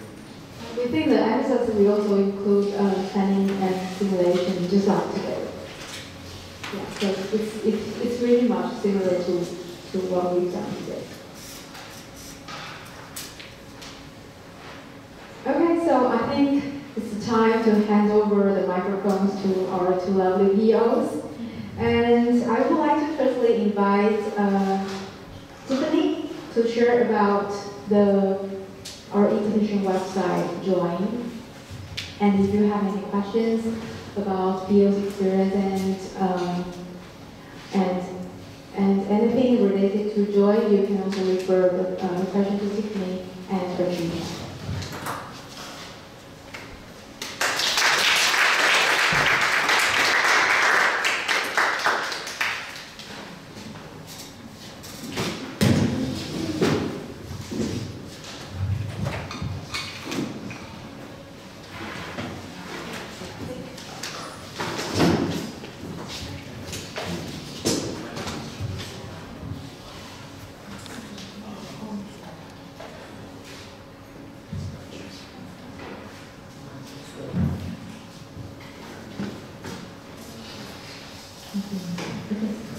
Hi everyone, I'm Tiffany.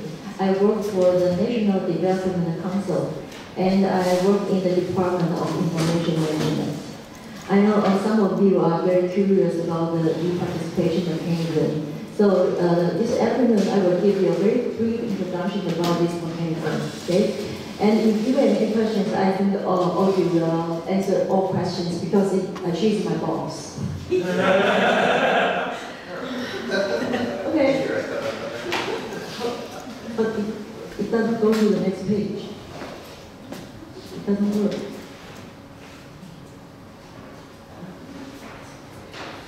So wait a moment. Page one. Page one. Doesn't work. How do we go to the next page?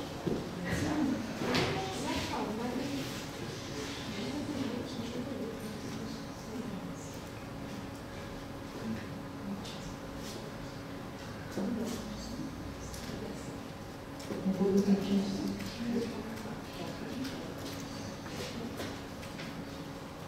Sorry, a moment.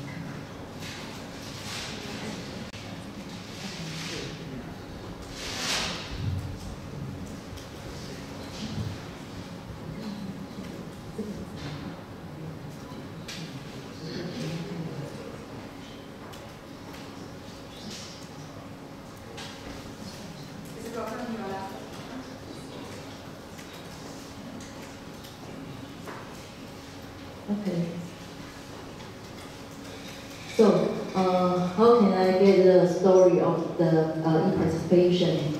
Let me uh, go to the uh, go back to the 2014. At that time, uh, the NDC ho- hosted uh, the Economic and Transnational Affairs Conference.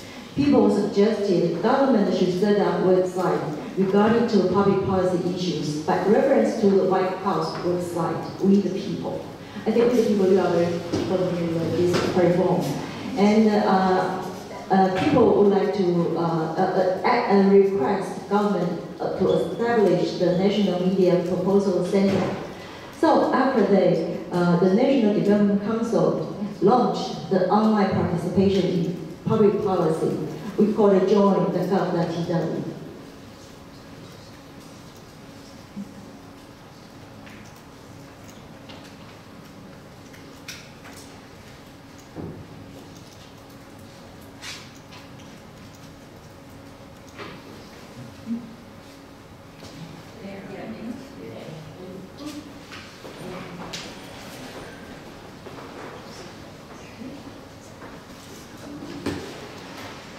So, uh, the goal of the online participation in public uh, policy, uh, we have three goals uh, we would like to achieve. First is to feedback from the city.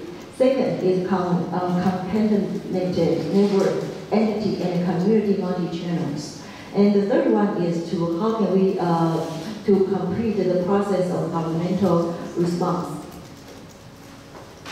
Okay, this is our uh, concept of online participation in public policies. Like a virtual circle of societies, we would like to listen to public opinions and encourage people's participation.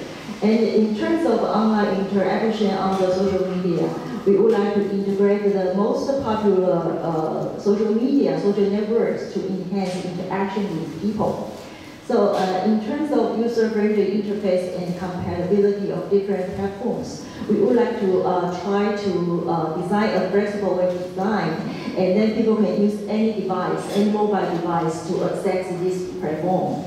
So, uh, and uh, we try to use the infographic and because it's easy to read and easy to access. So that's our uh, core concept of online participation in public policy.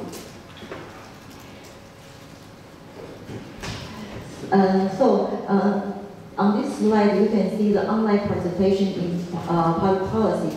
We offer, we offer our uh, citizens with uh, four kind of services, uh, which are proposals, consultation, department, directors, mailbox, and monitor projects. Because uh, today my time is limited, so I just want to focus on uh, top two, uh, which are proposals and consultation.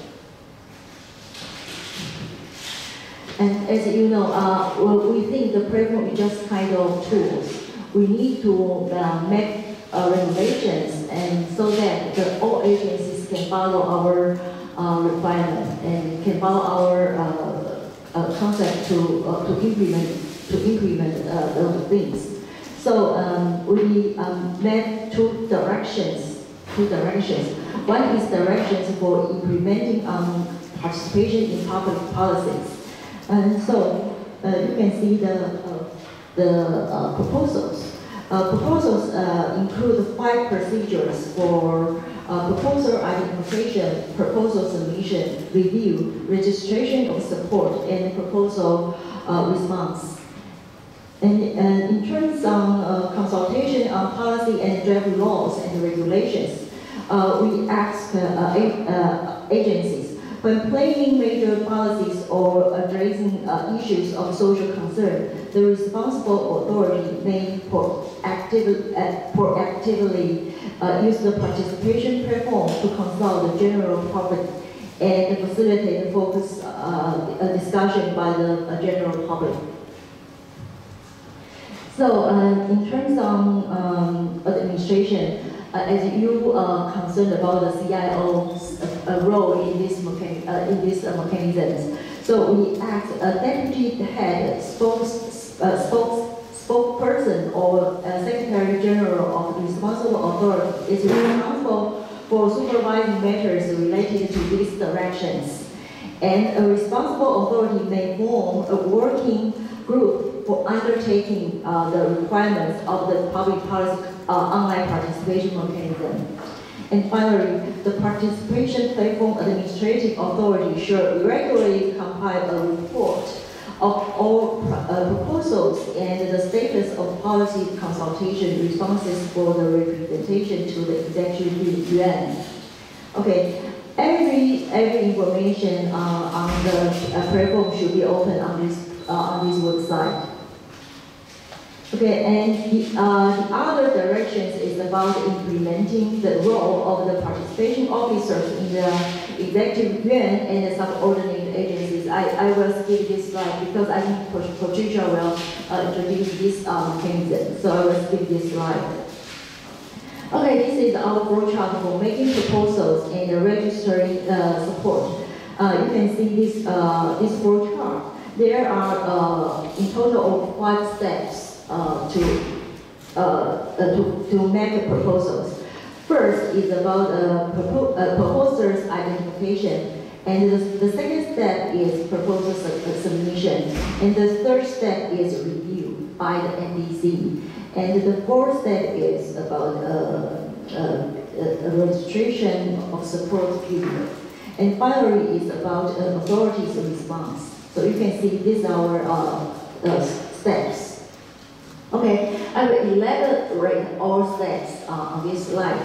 First, uh, first step, proposal, in terms of proposal identification, uh, a proposer may submit a proposal online only after the participation platform has conducted at one time authentication of the phone number and email address provided by the uh, proposer. Propo pro proposers. Okay, and the second step is uh, proposal submission. Uh, we, uh, we do not do everything because uh, we are uh, executive yuan. So the topics are limited to affairs and business related to the executive yuan and its subordinated. So we do not deal with like uh, uh, political issues or, or national, de uh, national defense issues because that's uh, president's rights. So uh, we don't touch those uh, business. And the second is the initiator can choose up to three authorities which should be responsible to the petitions. Okay, and and uh, the review stage, the participation platform administrative authority, that's NDC, shall conduct the review in accordance with the substance of a proposal where necessary, may invite the responsible authorities to assist the reviews. And as a rule, shall carry out the review of procedure within three working days. So we have a, a, a rush time to do uh, the review. And the uh, step four uh, is about the registration of support All person's processing citizenship of the state or holding a certificate of a permanent residency in the state may use a variety of accounts for logging onto the participation platform. And after a one-time authentication by means of mobile, uh, mobile phone number, uh, register support for a proposal. To become established as a case requiring response, a proposal must, re, uh, must receive 5,000 registrations of support within 60 days. Okay, and uh, let's go to the uh, step five. It's about the responses. Mm, the responsible author authorities of each proposal uh, shall pay should pay to opinions from all quarters and should access the visible of incorporating the proposal into policy implementation. The responsible uh, authorities should have a time period of two months for processing and uh, responding to an established proposals. And finally, uh, the formal uh, response and explanation may be issued through a press conference or other means of information to the general public. Information on the response should also be openly posted on the participation platform. These are the procedures, okay? Next, uh, this slide I would like to uh, elaborate uh, how the uh, responsible authorities will deal, deal with the established case. And you can see a, a, a special string. Uh, when the day 14, uh, a responsible, uh, a responsible agency will contact the propo- proposals to clarify the figures. We would like to understand this need, so we would, we would like to see the uh, proposal in person and to understand this need. Okay, so after uh, 60 days, uh, the government will produce a formal response. And uh, I think there are four possible uh, consequences, uh, which are uh, taken into consideration. Uh, it may be partial accepted, or uh, uh, we will totally accept the idea, and sometimes we will dismiss these ideas. Okay, so there are four uh, possible consequences on the uh, uh, on the response. Okay, uh, I will show you some uh, data about uh, case scenario proposals. Um, till now, uh, there were uh, about uh, 5,700 proposals by the end of May 2018, and um, 2016-22 uh, were entered support registration procedures, and uh, 144 were, were established cases. The established rate was uh, 5.5%. Okay, so uh, and you can see the figures. Um, it's about uh, 51 cases have been taken into account, and 31 cases have, have been partially accepted, and 48 uh, cases have been dismissed, and there are uh, 11 cases are uh, under investigation. So uh, people are most uh, interested, um, uh, most, more interested in these areas, like education, supports, and transportation and infrastructures, health and social security. These are, uh, these are issues people are more interested in. Okay, uh, now I would like to introduce some established case that is very famous in Taiwan. First is uh, the act to amend the law of cancer uh, immunotherapy to the legislative, legislative yuan by the end of December 2015. This is our first case. And it's kind of accepted case because the uh, Ministry of Welfare and Health um, uh, made a law about about the they, they allow the cancer immunotherapy uh, into the into the law. So I think it's a very famous uh, case in Taiwan. And in the other case, you can see uh, prohibition on the use of uh, disposal tableware throughout the country because we would like to uh, make our government, uh, make our uh, country more sustainable. So this, uh, these are big issues in Taiwan. So, uh, so I, I don't want to uh, explain every case, but you can see the, the, the, the proposals. Okay, workshop. Um, as you know, some uh, proposals are very complicated and very uh, across ministries. So my boss, Audrey, will coordinate, uh, coordinate the workshop collaboration and make cooperation with other uh, ministries to produce a, a good, a good uh, response to our citizens. So you can see the, uh, the pictures of the workshop. Okay, this is my pen. I don't want to elaborate. Okay, and then I will introduce uh, the, the consultation. Uh, consultation on policy and draft laws and uh, regulations. Uh, we pro uh, provide three kind of service on consultation, uh, which are policy consultation, draft law consultation, and draft regulation consultation. Okay, and um, uh, the establishment of government and citizen network participation and dialogue mechanism during the policy formulation process, providing a network channel for uh, consulting various opinions before uh, the formation of department policy.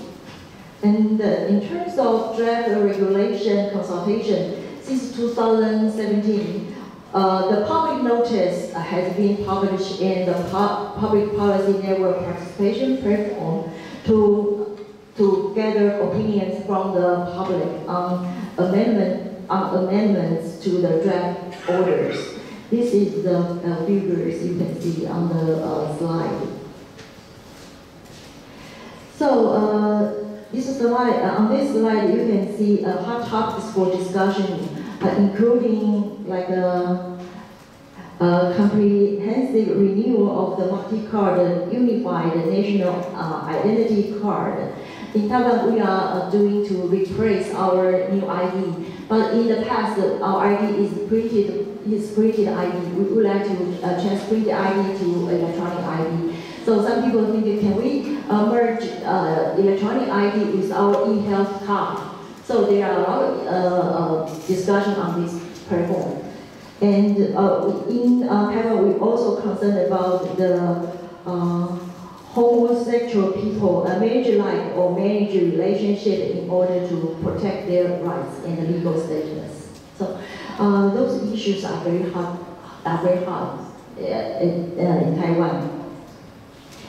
So, uh, in order to understand the sophistication of online participation in public policies, NDC conducted a survey from uh, September to October of uh, 2017. Uh, you can see um, um, there are uh, 88, uh, 82.4 of uh, respondents are very uh, are very satisfied with this platform. And uh, 82.2 uh, percent of respondents are, are willing to recommend this platform to others. And there are 43.5 respondents uh, uh, think the platform had a certain impact on the policy. Okay, and but uh, 17.2 uh, percent of respondents uh, think um, a, a little bit improved trust in the government. Okay, so we will do the uh, certification surveys uh, last year. So that's my uh, uh, brief introduction about our mechanism. Uh, anyway, I think we can do this mechanism, mechanism, make our government more open, more transparent, and more participation. Thank you for your attention.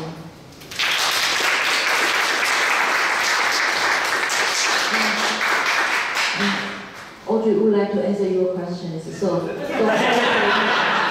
to raise your questions. She put me a lot. Yeah, and uh, just uh, please uh, scroll like three pages into uh, the appendix. Thank you. Appendix? Yes, yes, a appendix. Yes. This, this page. Another one, yes. Okay. Yes, uh, so, so yeah, so that is the, the more detail. Um, as you can see, that a lot, a lot of people uh, feel that uh, they would recommend other people. This is like why we can't get viral for this platform because people really encourage other people to join. Uh, only about half the cases that they participated that they feel that there is a meaningful change uh, because of the conditions or because of consultations. And that's the experience that we have subjectively too of the workshop that we have uh, convened. But interestingly, uh, only a tiny minority have improved their trust in the government after using the platform. And that is one of the KPIs that we're, we're measuring year after year to see whether this actually improves over time. So, so that's the, the numbers we have, yes. Wait, you think that's bad? Um, Uh, I say this is the baseline. no, no, I- Has the number of people who have less trust, did they, is there a bigger number that say, no, that I use the platform, I have less trust in government? Uh, no. Um, so, so this is a, a simple question like, like whether you have improved your trust in the government after using the platform. It does, I, I don't think it asks whether um, it decreased your trust in the government after using the platform. But maybe, maybe we should ask that too.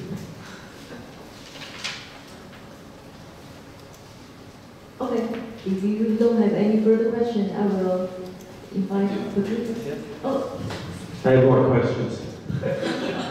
Can you, you said some of the uh, proposals were rejected. Yeah.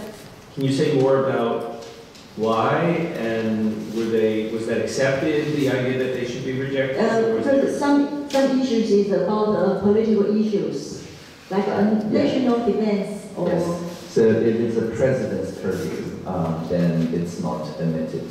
It, it, it, it took us quite some time uh, to establish a boundary between the president's office, which is about the military diplomacy and cross-strait issues, quote quote unquote. Uh, and and we, we don't deal with that for this platform uh, now. And uh, actually, we changed the regulation to explicitly also rule out uh, things rooted in fantasy or science fiction because they're uh, keep to uh, people keep having petitions uh, for our Ministry of Foreign Affairs to establish, um, you know, the Raelian movement to have a UFO embassy and things like that. And it, it's not strictly speaking, you know, the president's purview. It's actually constitutional, but we don't actually think it's a very good use of people's time. Even though people keep citing the, you know, the Death Star. Um, petitioning the uh, We the People um, the platform and say that we should have more humor, but uh, in, in the end, we think it's better to save the public servants' time by ruling out uh, purely fictional petitions. Um, are there any examples of this tool or the, your office at the local level or at the municipal level within Taiwan? Yeah, great question. So um, the Join platform uh, currently is used by the administrative branch, also the corrective branch. This is a, a like in Taiwan's constitution, there's also a branch dedicated for auditing, and uh, they use this consultative platform to ask the people uh, of a certain city uh, that like the city government is doing something that they don't know how to audit, but instead of uh, calling a stop or pulling a break to these things, they ask what people's doubt are around these new ways of doing things, and they collect those doubts and ask the ministers in charge, sometimes me, if uh, it's about social enterprise, and then they establish new auditing uh, standards. So it's a, I think, a win-win solution for everybody involved because it basically translates people's fears and doubts into new auditing mechanisms that enabled uh, the administration to develop with innovative ideas. Uh, and uh, as for cities and counties, at the moment, five uh, cities and counties are in this platform as well, and usually just for proposals um, or um, consultations. But uh, for City, it's special because it's part of the i-voting process. So the petitions on the Taipei portion of the Join platform actually gets put after the threshold into the i-voting um, stage where it actually becomes binding uh, to the administration, but in the city government, but so far only Taipei City does that. And I think in a few months, we're also going to offer participatory budgeting uh, support for the city government so they can also use Join as a common TV platform. So in, in that mode, it's a lot like Consul uh, in, in Madrid. And, and follow up, do those same five cities offer some type of 311 or non-emergency, like, public ticketing system? Yes, they do.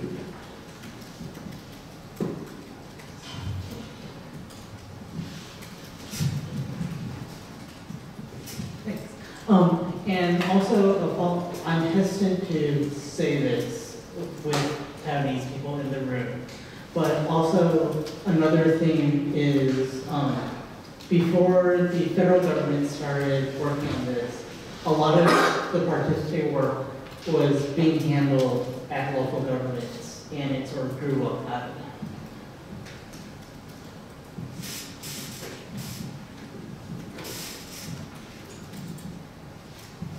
Sorry, was that a question? No.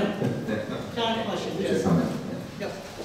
Are there examples of when elected officials at any level of government also participate in this as a way to engage with and discuss with citizens?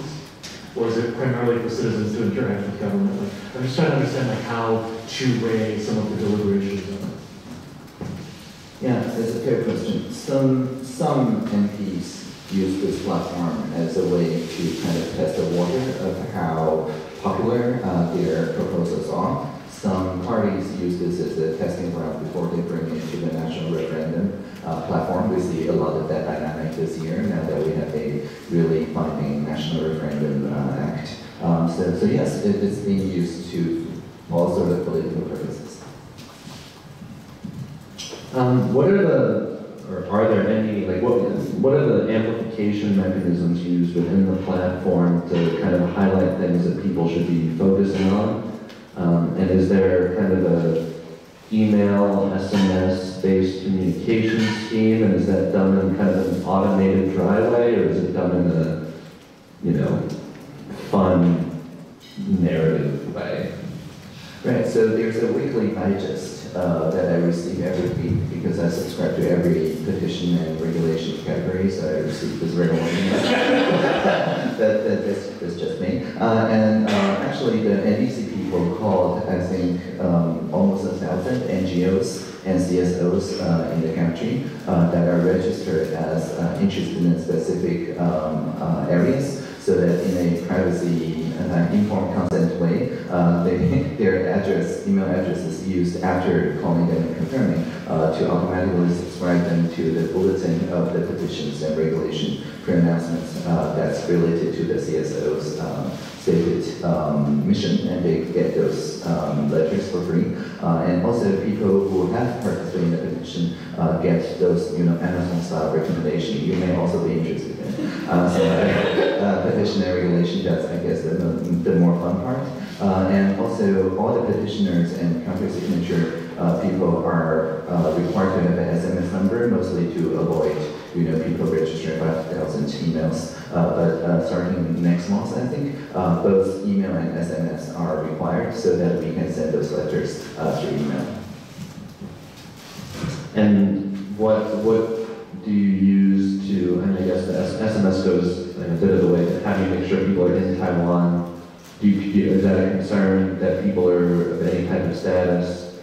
Yeah, if you're a if you're a resident, actually, um, you don't have to be um, with the, the, the you know a, a full citizenship. Uh, that's actually one of the key changes with the, to the regulation. So this is unlike the referendum or the normal voting system where you have to have full citizenship. All we ask is that you're a, a resident, that you're, you're staying here. And, and is that voluntarily enforced, or is that done through? It is voluntarily enforced, but, but I guess, um, you know, just during the, the time to obtain a SMS, I guess you can work around it variously using prepaid cards or, or whatever, but, but you do have to tick a checkbox that says you're a resident or a full citizen. What if you're a citizen but you're not a resident in Taiwan? Well, then you're eligible. yeah. So if you're just like, you're either a citizen or a resident. Patricia, it's your turn. Okay.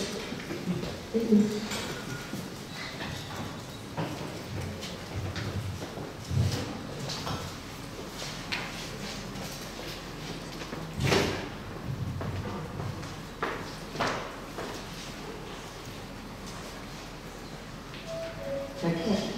Um, thank you, Tiffany. I made a simple um, PPT for you guys. And uh, let's start right now. Uh, but I have to say first that um, I never go abroad for study, so my English is poor and uh, I learned everything from Hollywood movies. So if I say the wrong words, please tell me. Thank you. Okay. Uh, I'd like to share about what are POs doing. Uh, I, think it's uh, all about the unleashing the changes inside the governments, uh, especially for our uh, people like me, uh, the civil servants. Okay. Uh, this is uh, Fang Rui and uh, Tiffany mentioned, just mentioned, uh, but I think it's a relationship like an uh, inverted triangle. Uh, in the upper, upper part, the left is P is uh, led by Audrey, and the left, uh, left part is, uh, the right part is uh, by, contributed by NDC to build a joint platform, e-platform online. And uh, uh, what we uh, PO network do is basic, basic on these two parts. So we became a golden triangle. And we, I think we really create a new way, or I'm not sure if I can uh, say it as a model, because it's uh, very new and young. So I just want to say we create a new way to serve our people. Okay. Uh, sometimes I ask myself a question: What's the difference from the traditional way and the new way? Uh, me borrow a political system, a political theory that David Easton uh, he just did say. Um, political is po political process is a system, and uh, we learn more about this political the system theory that uh, officials doing is to design and uh, to execute uh, execution of policies and to evaluate the, the effectiveness or what is, uh, is uh, efficiently uh, efficiently or not. But you know, uh, there is a left a big part about the system is a black box. Some people always say the uh, process of uh, policy is like a big black box, that no transparency, that uh, people outside the policy, uh, we don't know what happened in this black box. So uh, I think the main contribution that PO network doing is to take up the top cover of black box for political system. And what the PO is doing is uh, we use new technologies, tools, and a new skill to uh, bring multi-stakeholders together and to develop solutions or improve.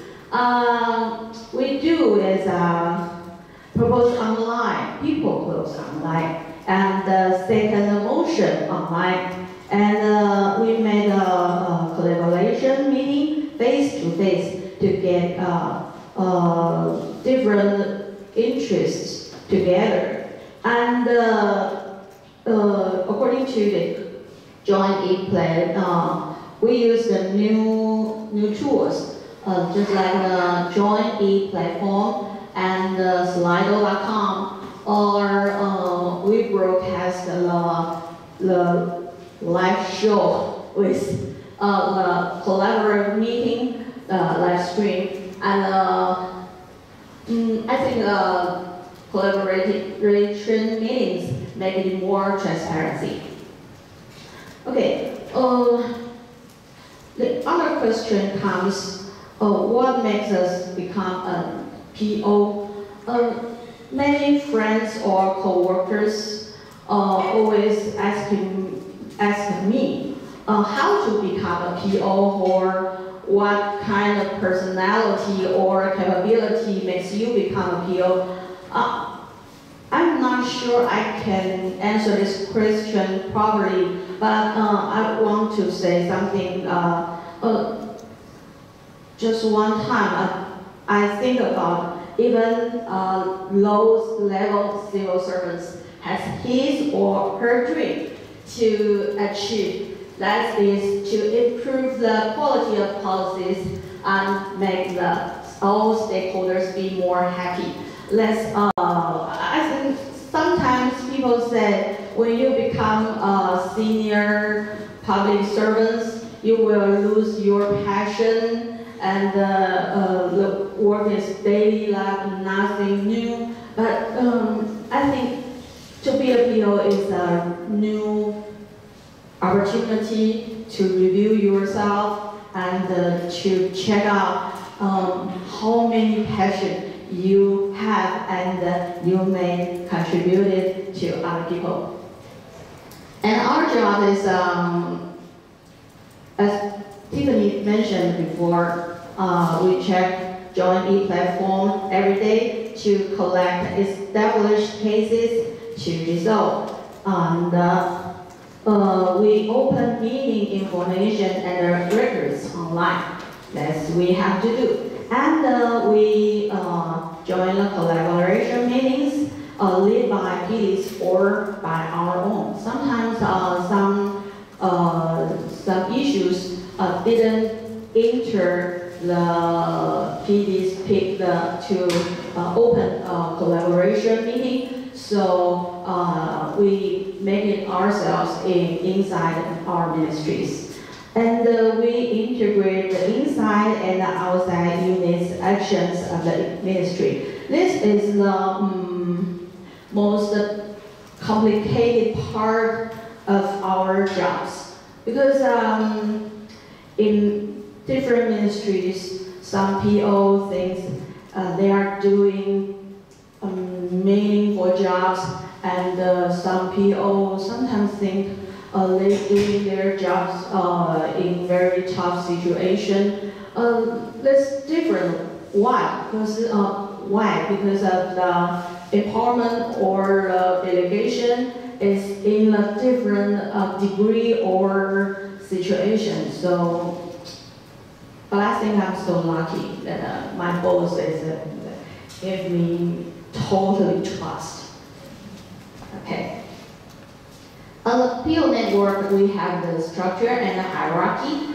Uh, first level uh, is the executive yuan PO board. I called it, uh, lead by uh, Audrey. And uh, the second level we call the ministry level. Mm, just as the Tiffany said, we have uh, 31 ministry and then got uh, almost uh, over six, six PO. And uh, now we are encouraged to create our own uh, PO system under our ministry. So, mm, in my, I'm lucky to have uh, my boss's support and uh, we just passed to just publish um, administrative rule as the legal basis, legal basis 对, uh, of our works. Mm, in the e-platform that Join, um, so many people concerns about the agriculture questions. But what is the FAQ in agriculture field on Join? Um, let me tell you, the first place is about the food safety, especially Taiwanese is highly concerned about the limitation or the regulation of a pesticide and to use on the vegetables or uh, animal products. So it's like that. And uh, this kind of uh, issues almost uh, uh, related to the uh, Ministry of Health and Welfare. So if the, this, this kind of issue comes out and uh, we always have collaboration meetings with, uh, uh, with the Ministry of Health and Welfare. And the second place is the struggle between industrial development and environment protection. Uh, this place, I, I use the industries, uh, not means the industry. You know what I mean is about uh, farmers or the fishermen, this kind of industry. Uh, the Penghu case, uh, we, we mentioned earlier is about the fishermen's uh, their right to fishery and uh, between the uh, the proposer is uh, several diving lovers, but they are also the warrior about environmental protection. So uh, they make this proposal by goodwill, but the, it makes the fishermen's community feel um, anxious or nervous, uh, worry about their their life or their living is uh, is to be. So it's a special case. And the third place is about the animal protection. uh, it's very interesting that uh, animal protection is uh, a new booming issue in Taiwan. Mm, we know the there are a community with members not too many, but they speak louder and in the internet. So mm, they are so solid and they can make proposal. Uh, one didn't didn't uh, pass the review, and uh, the second one is coming, following so close. So we always uh, deal with the animal protection issues. And the fourth, uh, fourth place is the disease control via animal rights. Uh, air flu is a very severe problem in Taiwan, so it is uh, we always stay in that kind of uh, issues in Join platform. Okay, this is the Penghu case. I think I don't want to waste too much time to explain it, but uh, I want to share uh, to separate the rival rival teams. I think I don't know how to put it, but I I just use this term that uh, we said two rooms, one for collaborating meeting, and then the other room playing the live stream for online participants and people which tend to show their high concern.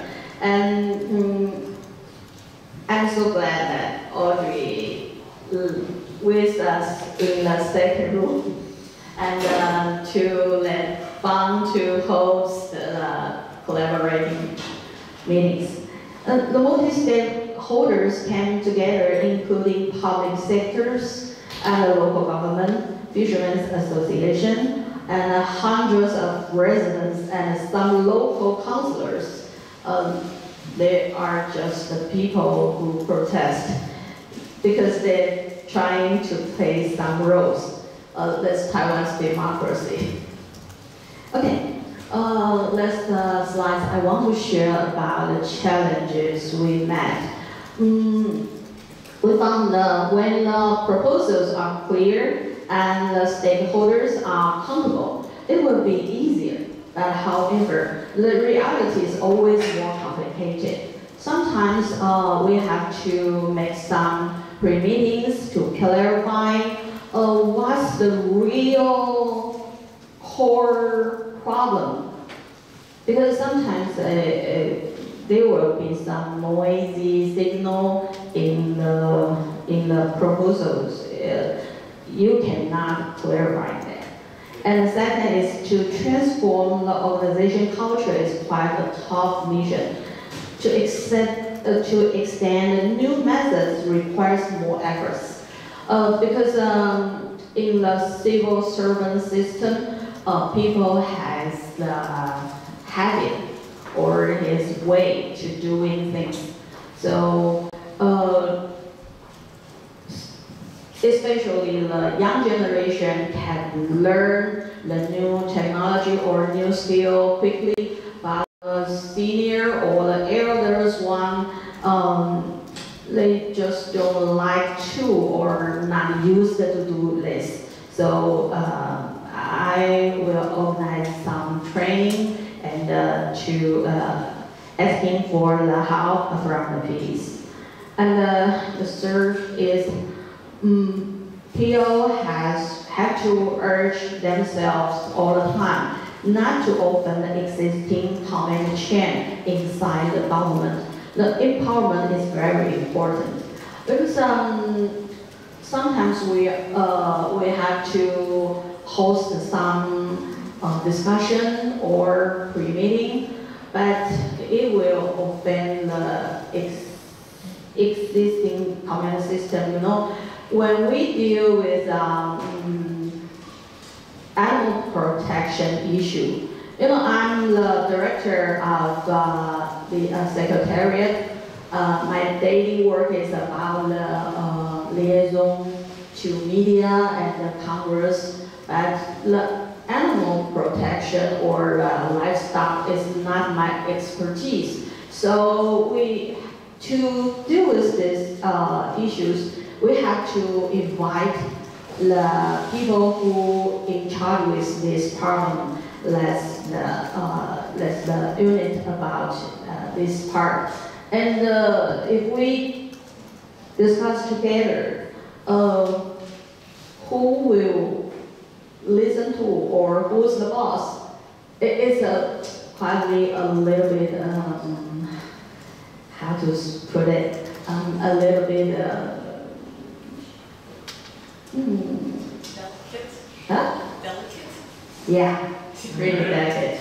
So, you know, uh, they sometimes, uh, or always, uh, don't like to create new battlefield and uh, they will always hope you uh, just go through and uh, close the case, uh, everything uh, is okay and everybody is happy. But the value of PO network is to push our inside, uh, our insiders to face the real case that we have to, and we have the responsibility to solve. So I can let let let let happen. So sometimes the we have to work together, but uh, I have to urge the, uh, ourselves not to offend them.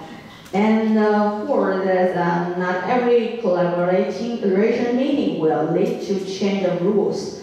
But sometimes, um, in a happy ending, we don't have to uh, go into the lawmaking. Maybe we just modify our uh, executive process. It's okay, can cause a good, uh, good end. But sometimes we have to uh, relocation, relocating some resources to modify or to fix the problem. And sometimes we have to uh, launch the lawmaking process.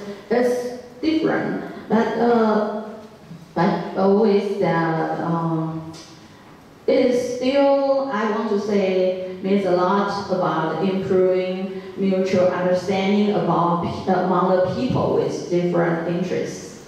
Uh, last thing I want to share is um, uh, in my opinion, maybe our ultimate goal is uh, someday we there is no more PO because uh, every single public servant should have capabilities to internalize the value and the spirits of PO's role. So,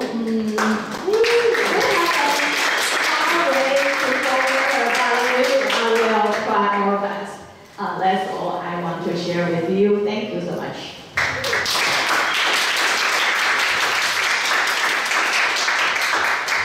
Thank you so much. Can we get uh, another round of applause for.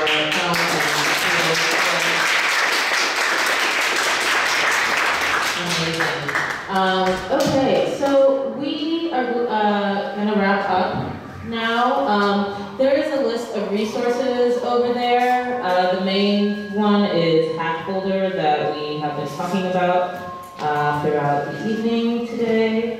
And just to give you an idea of what that looks like here. Uh,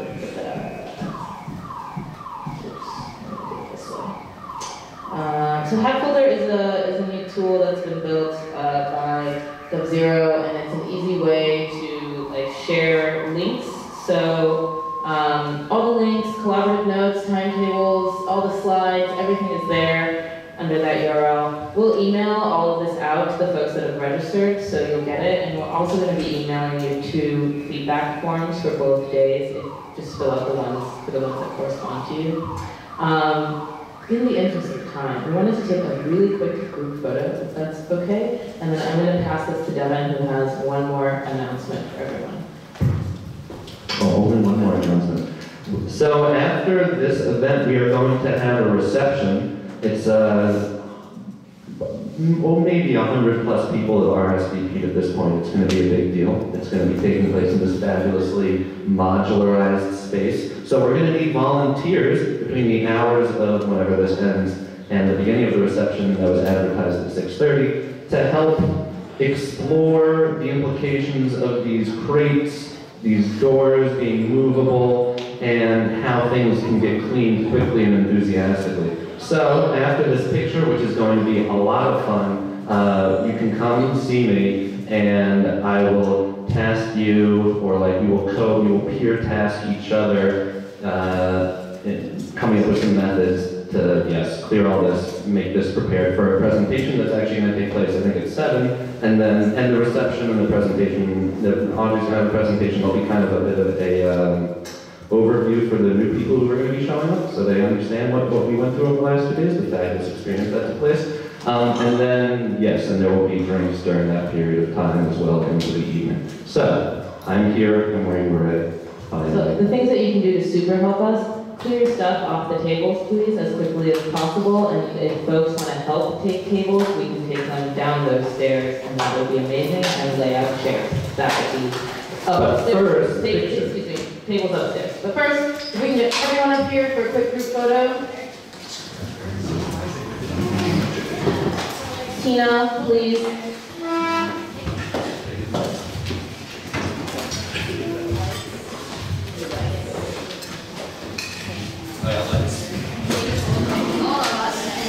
Okay, yeah, all humans this way, robots, clear.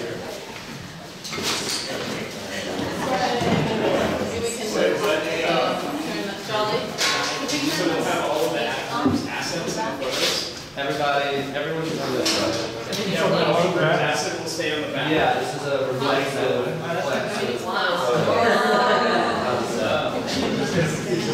Now, position, position ourselves like the crates. All of tall people in the back, short people in the front, you know if you're tall, you know if you're sure. Yeah. No, we're going, wait, we're taking, wait, yeah, it's a good, it's a good question. Where's the camera? The camera was gonna come from that way. Okay, yeah. Oh, so, yeah, this way. Don't look at the screen, don't look at the, don't look at the visual. Yeah, yeah. Turn the camera. I guess you could actually. Hold on, hey I Alex, don't have too many options. could I ask you to take a photo, a good photo of us? Sure.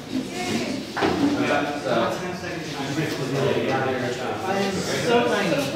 So, um, I I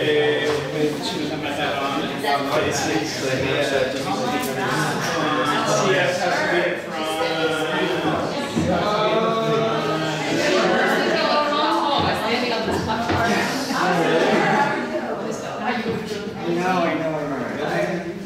Who wants to be tall? Joe, you gotta get in the photo too. Yes, come on. Yes. I'll be taller than Alright. Any suggestions? So we're gonna- Any that will make you all, make everyone smile. The camera's, the camera's on a ten second timer. Yeah, oh, And it's gonna take five shots, so it's on a Yes. ten second timer when you hit it. So I don't have any agency. Yeah. You have agency of when you push the button. Okay, well, is everybody ready to smile for ten uh-huh. seconds? Yeah. Yeah. Yeah, here we go. All right, something happened. Yep, it's gonna start blinking. No blinking. It's an exclamation point. I'm trying really hard not to move. This is great, because now we all have natural smiles. Or fatigue smiles. Got it. This is awkward. Or that exclamation point. Did anything happen? Does it say battery low? It's talking about shooting movies. Oh, no. Hold on. It always happens with photographers. That was a driver. Well, I put it on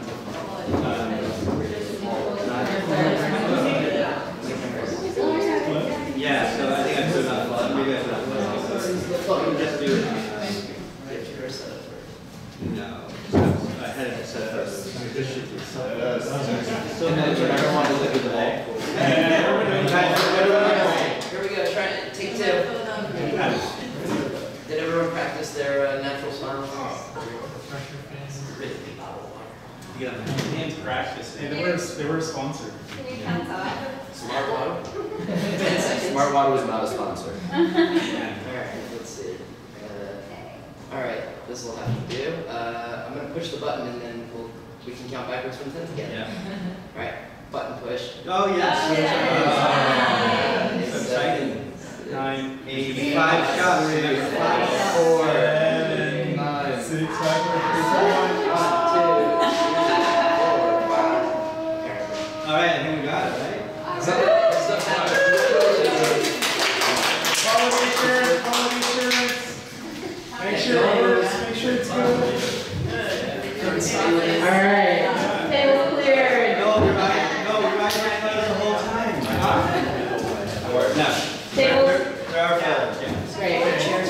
Chairs stay, tables upstairs.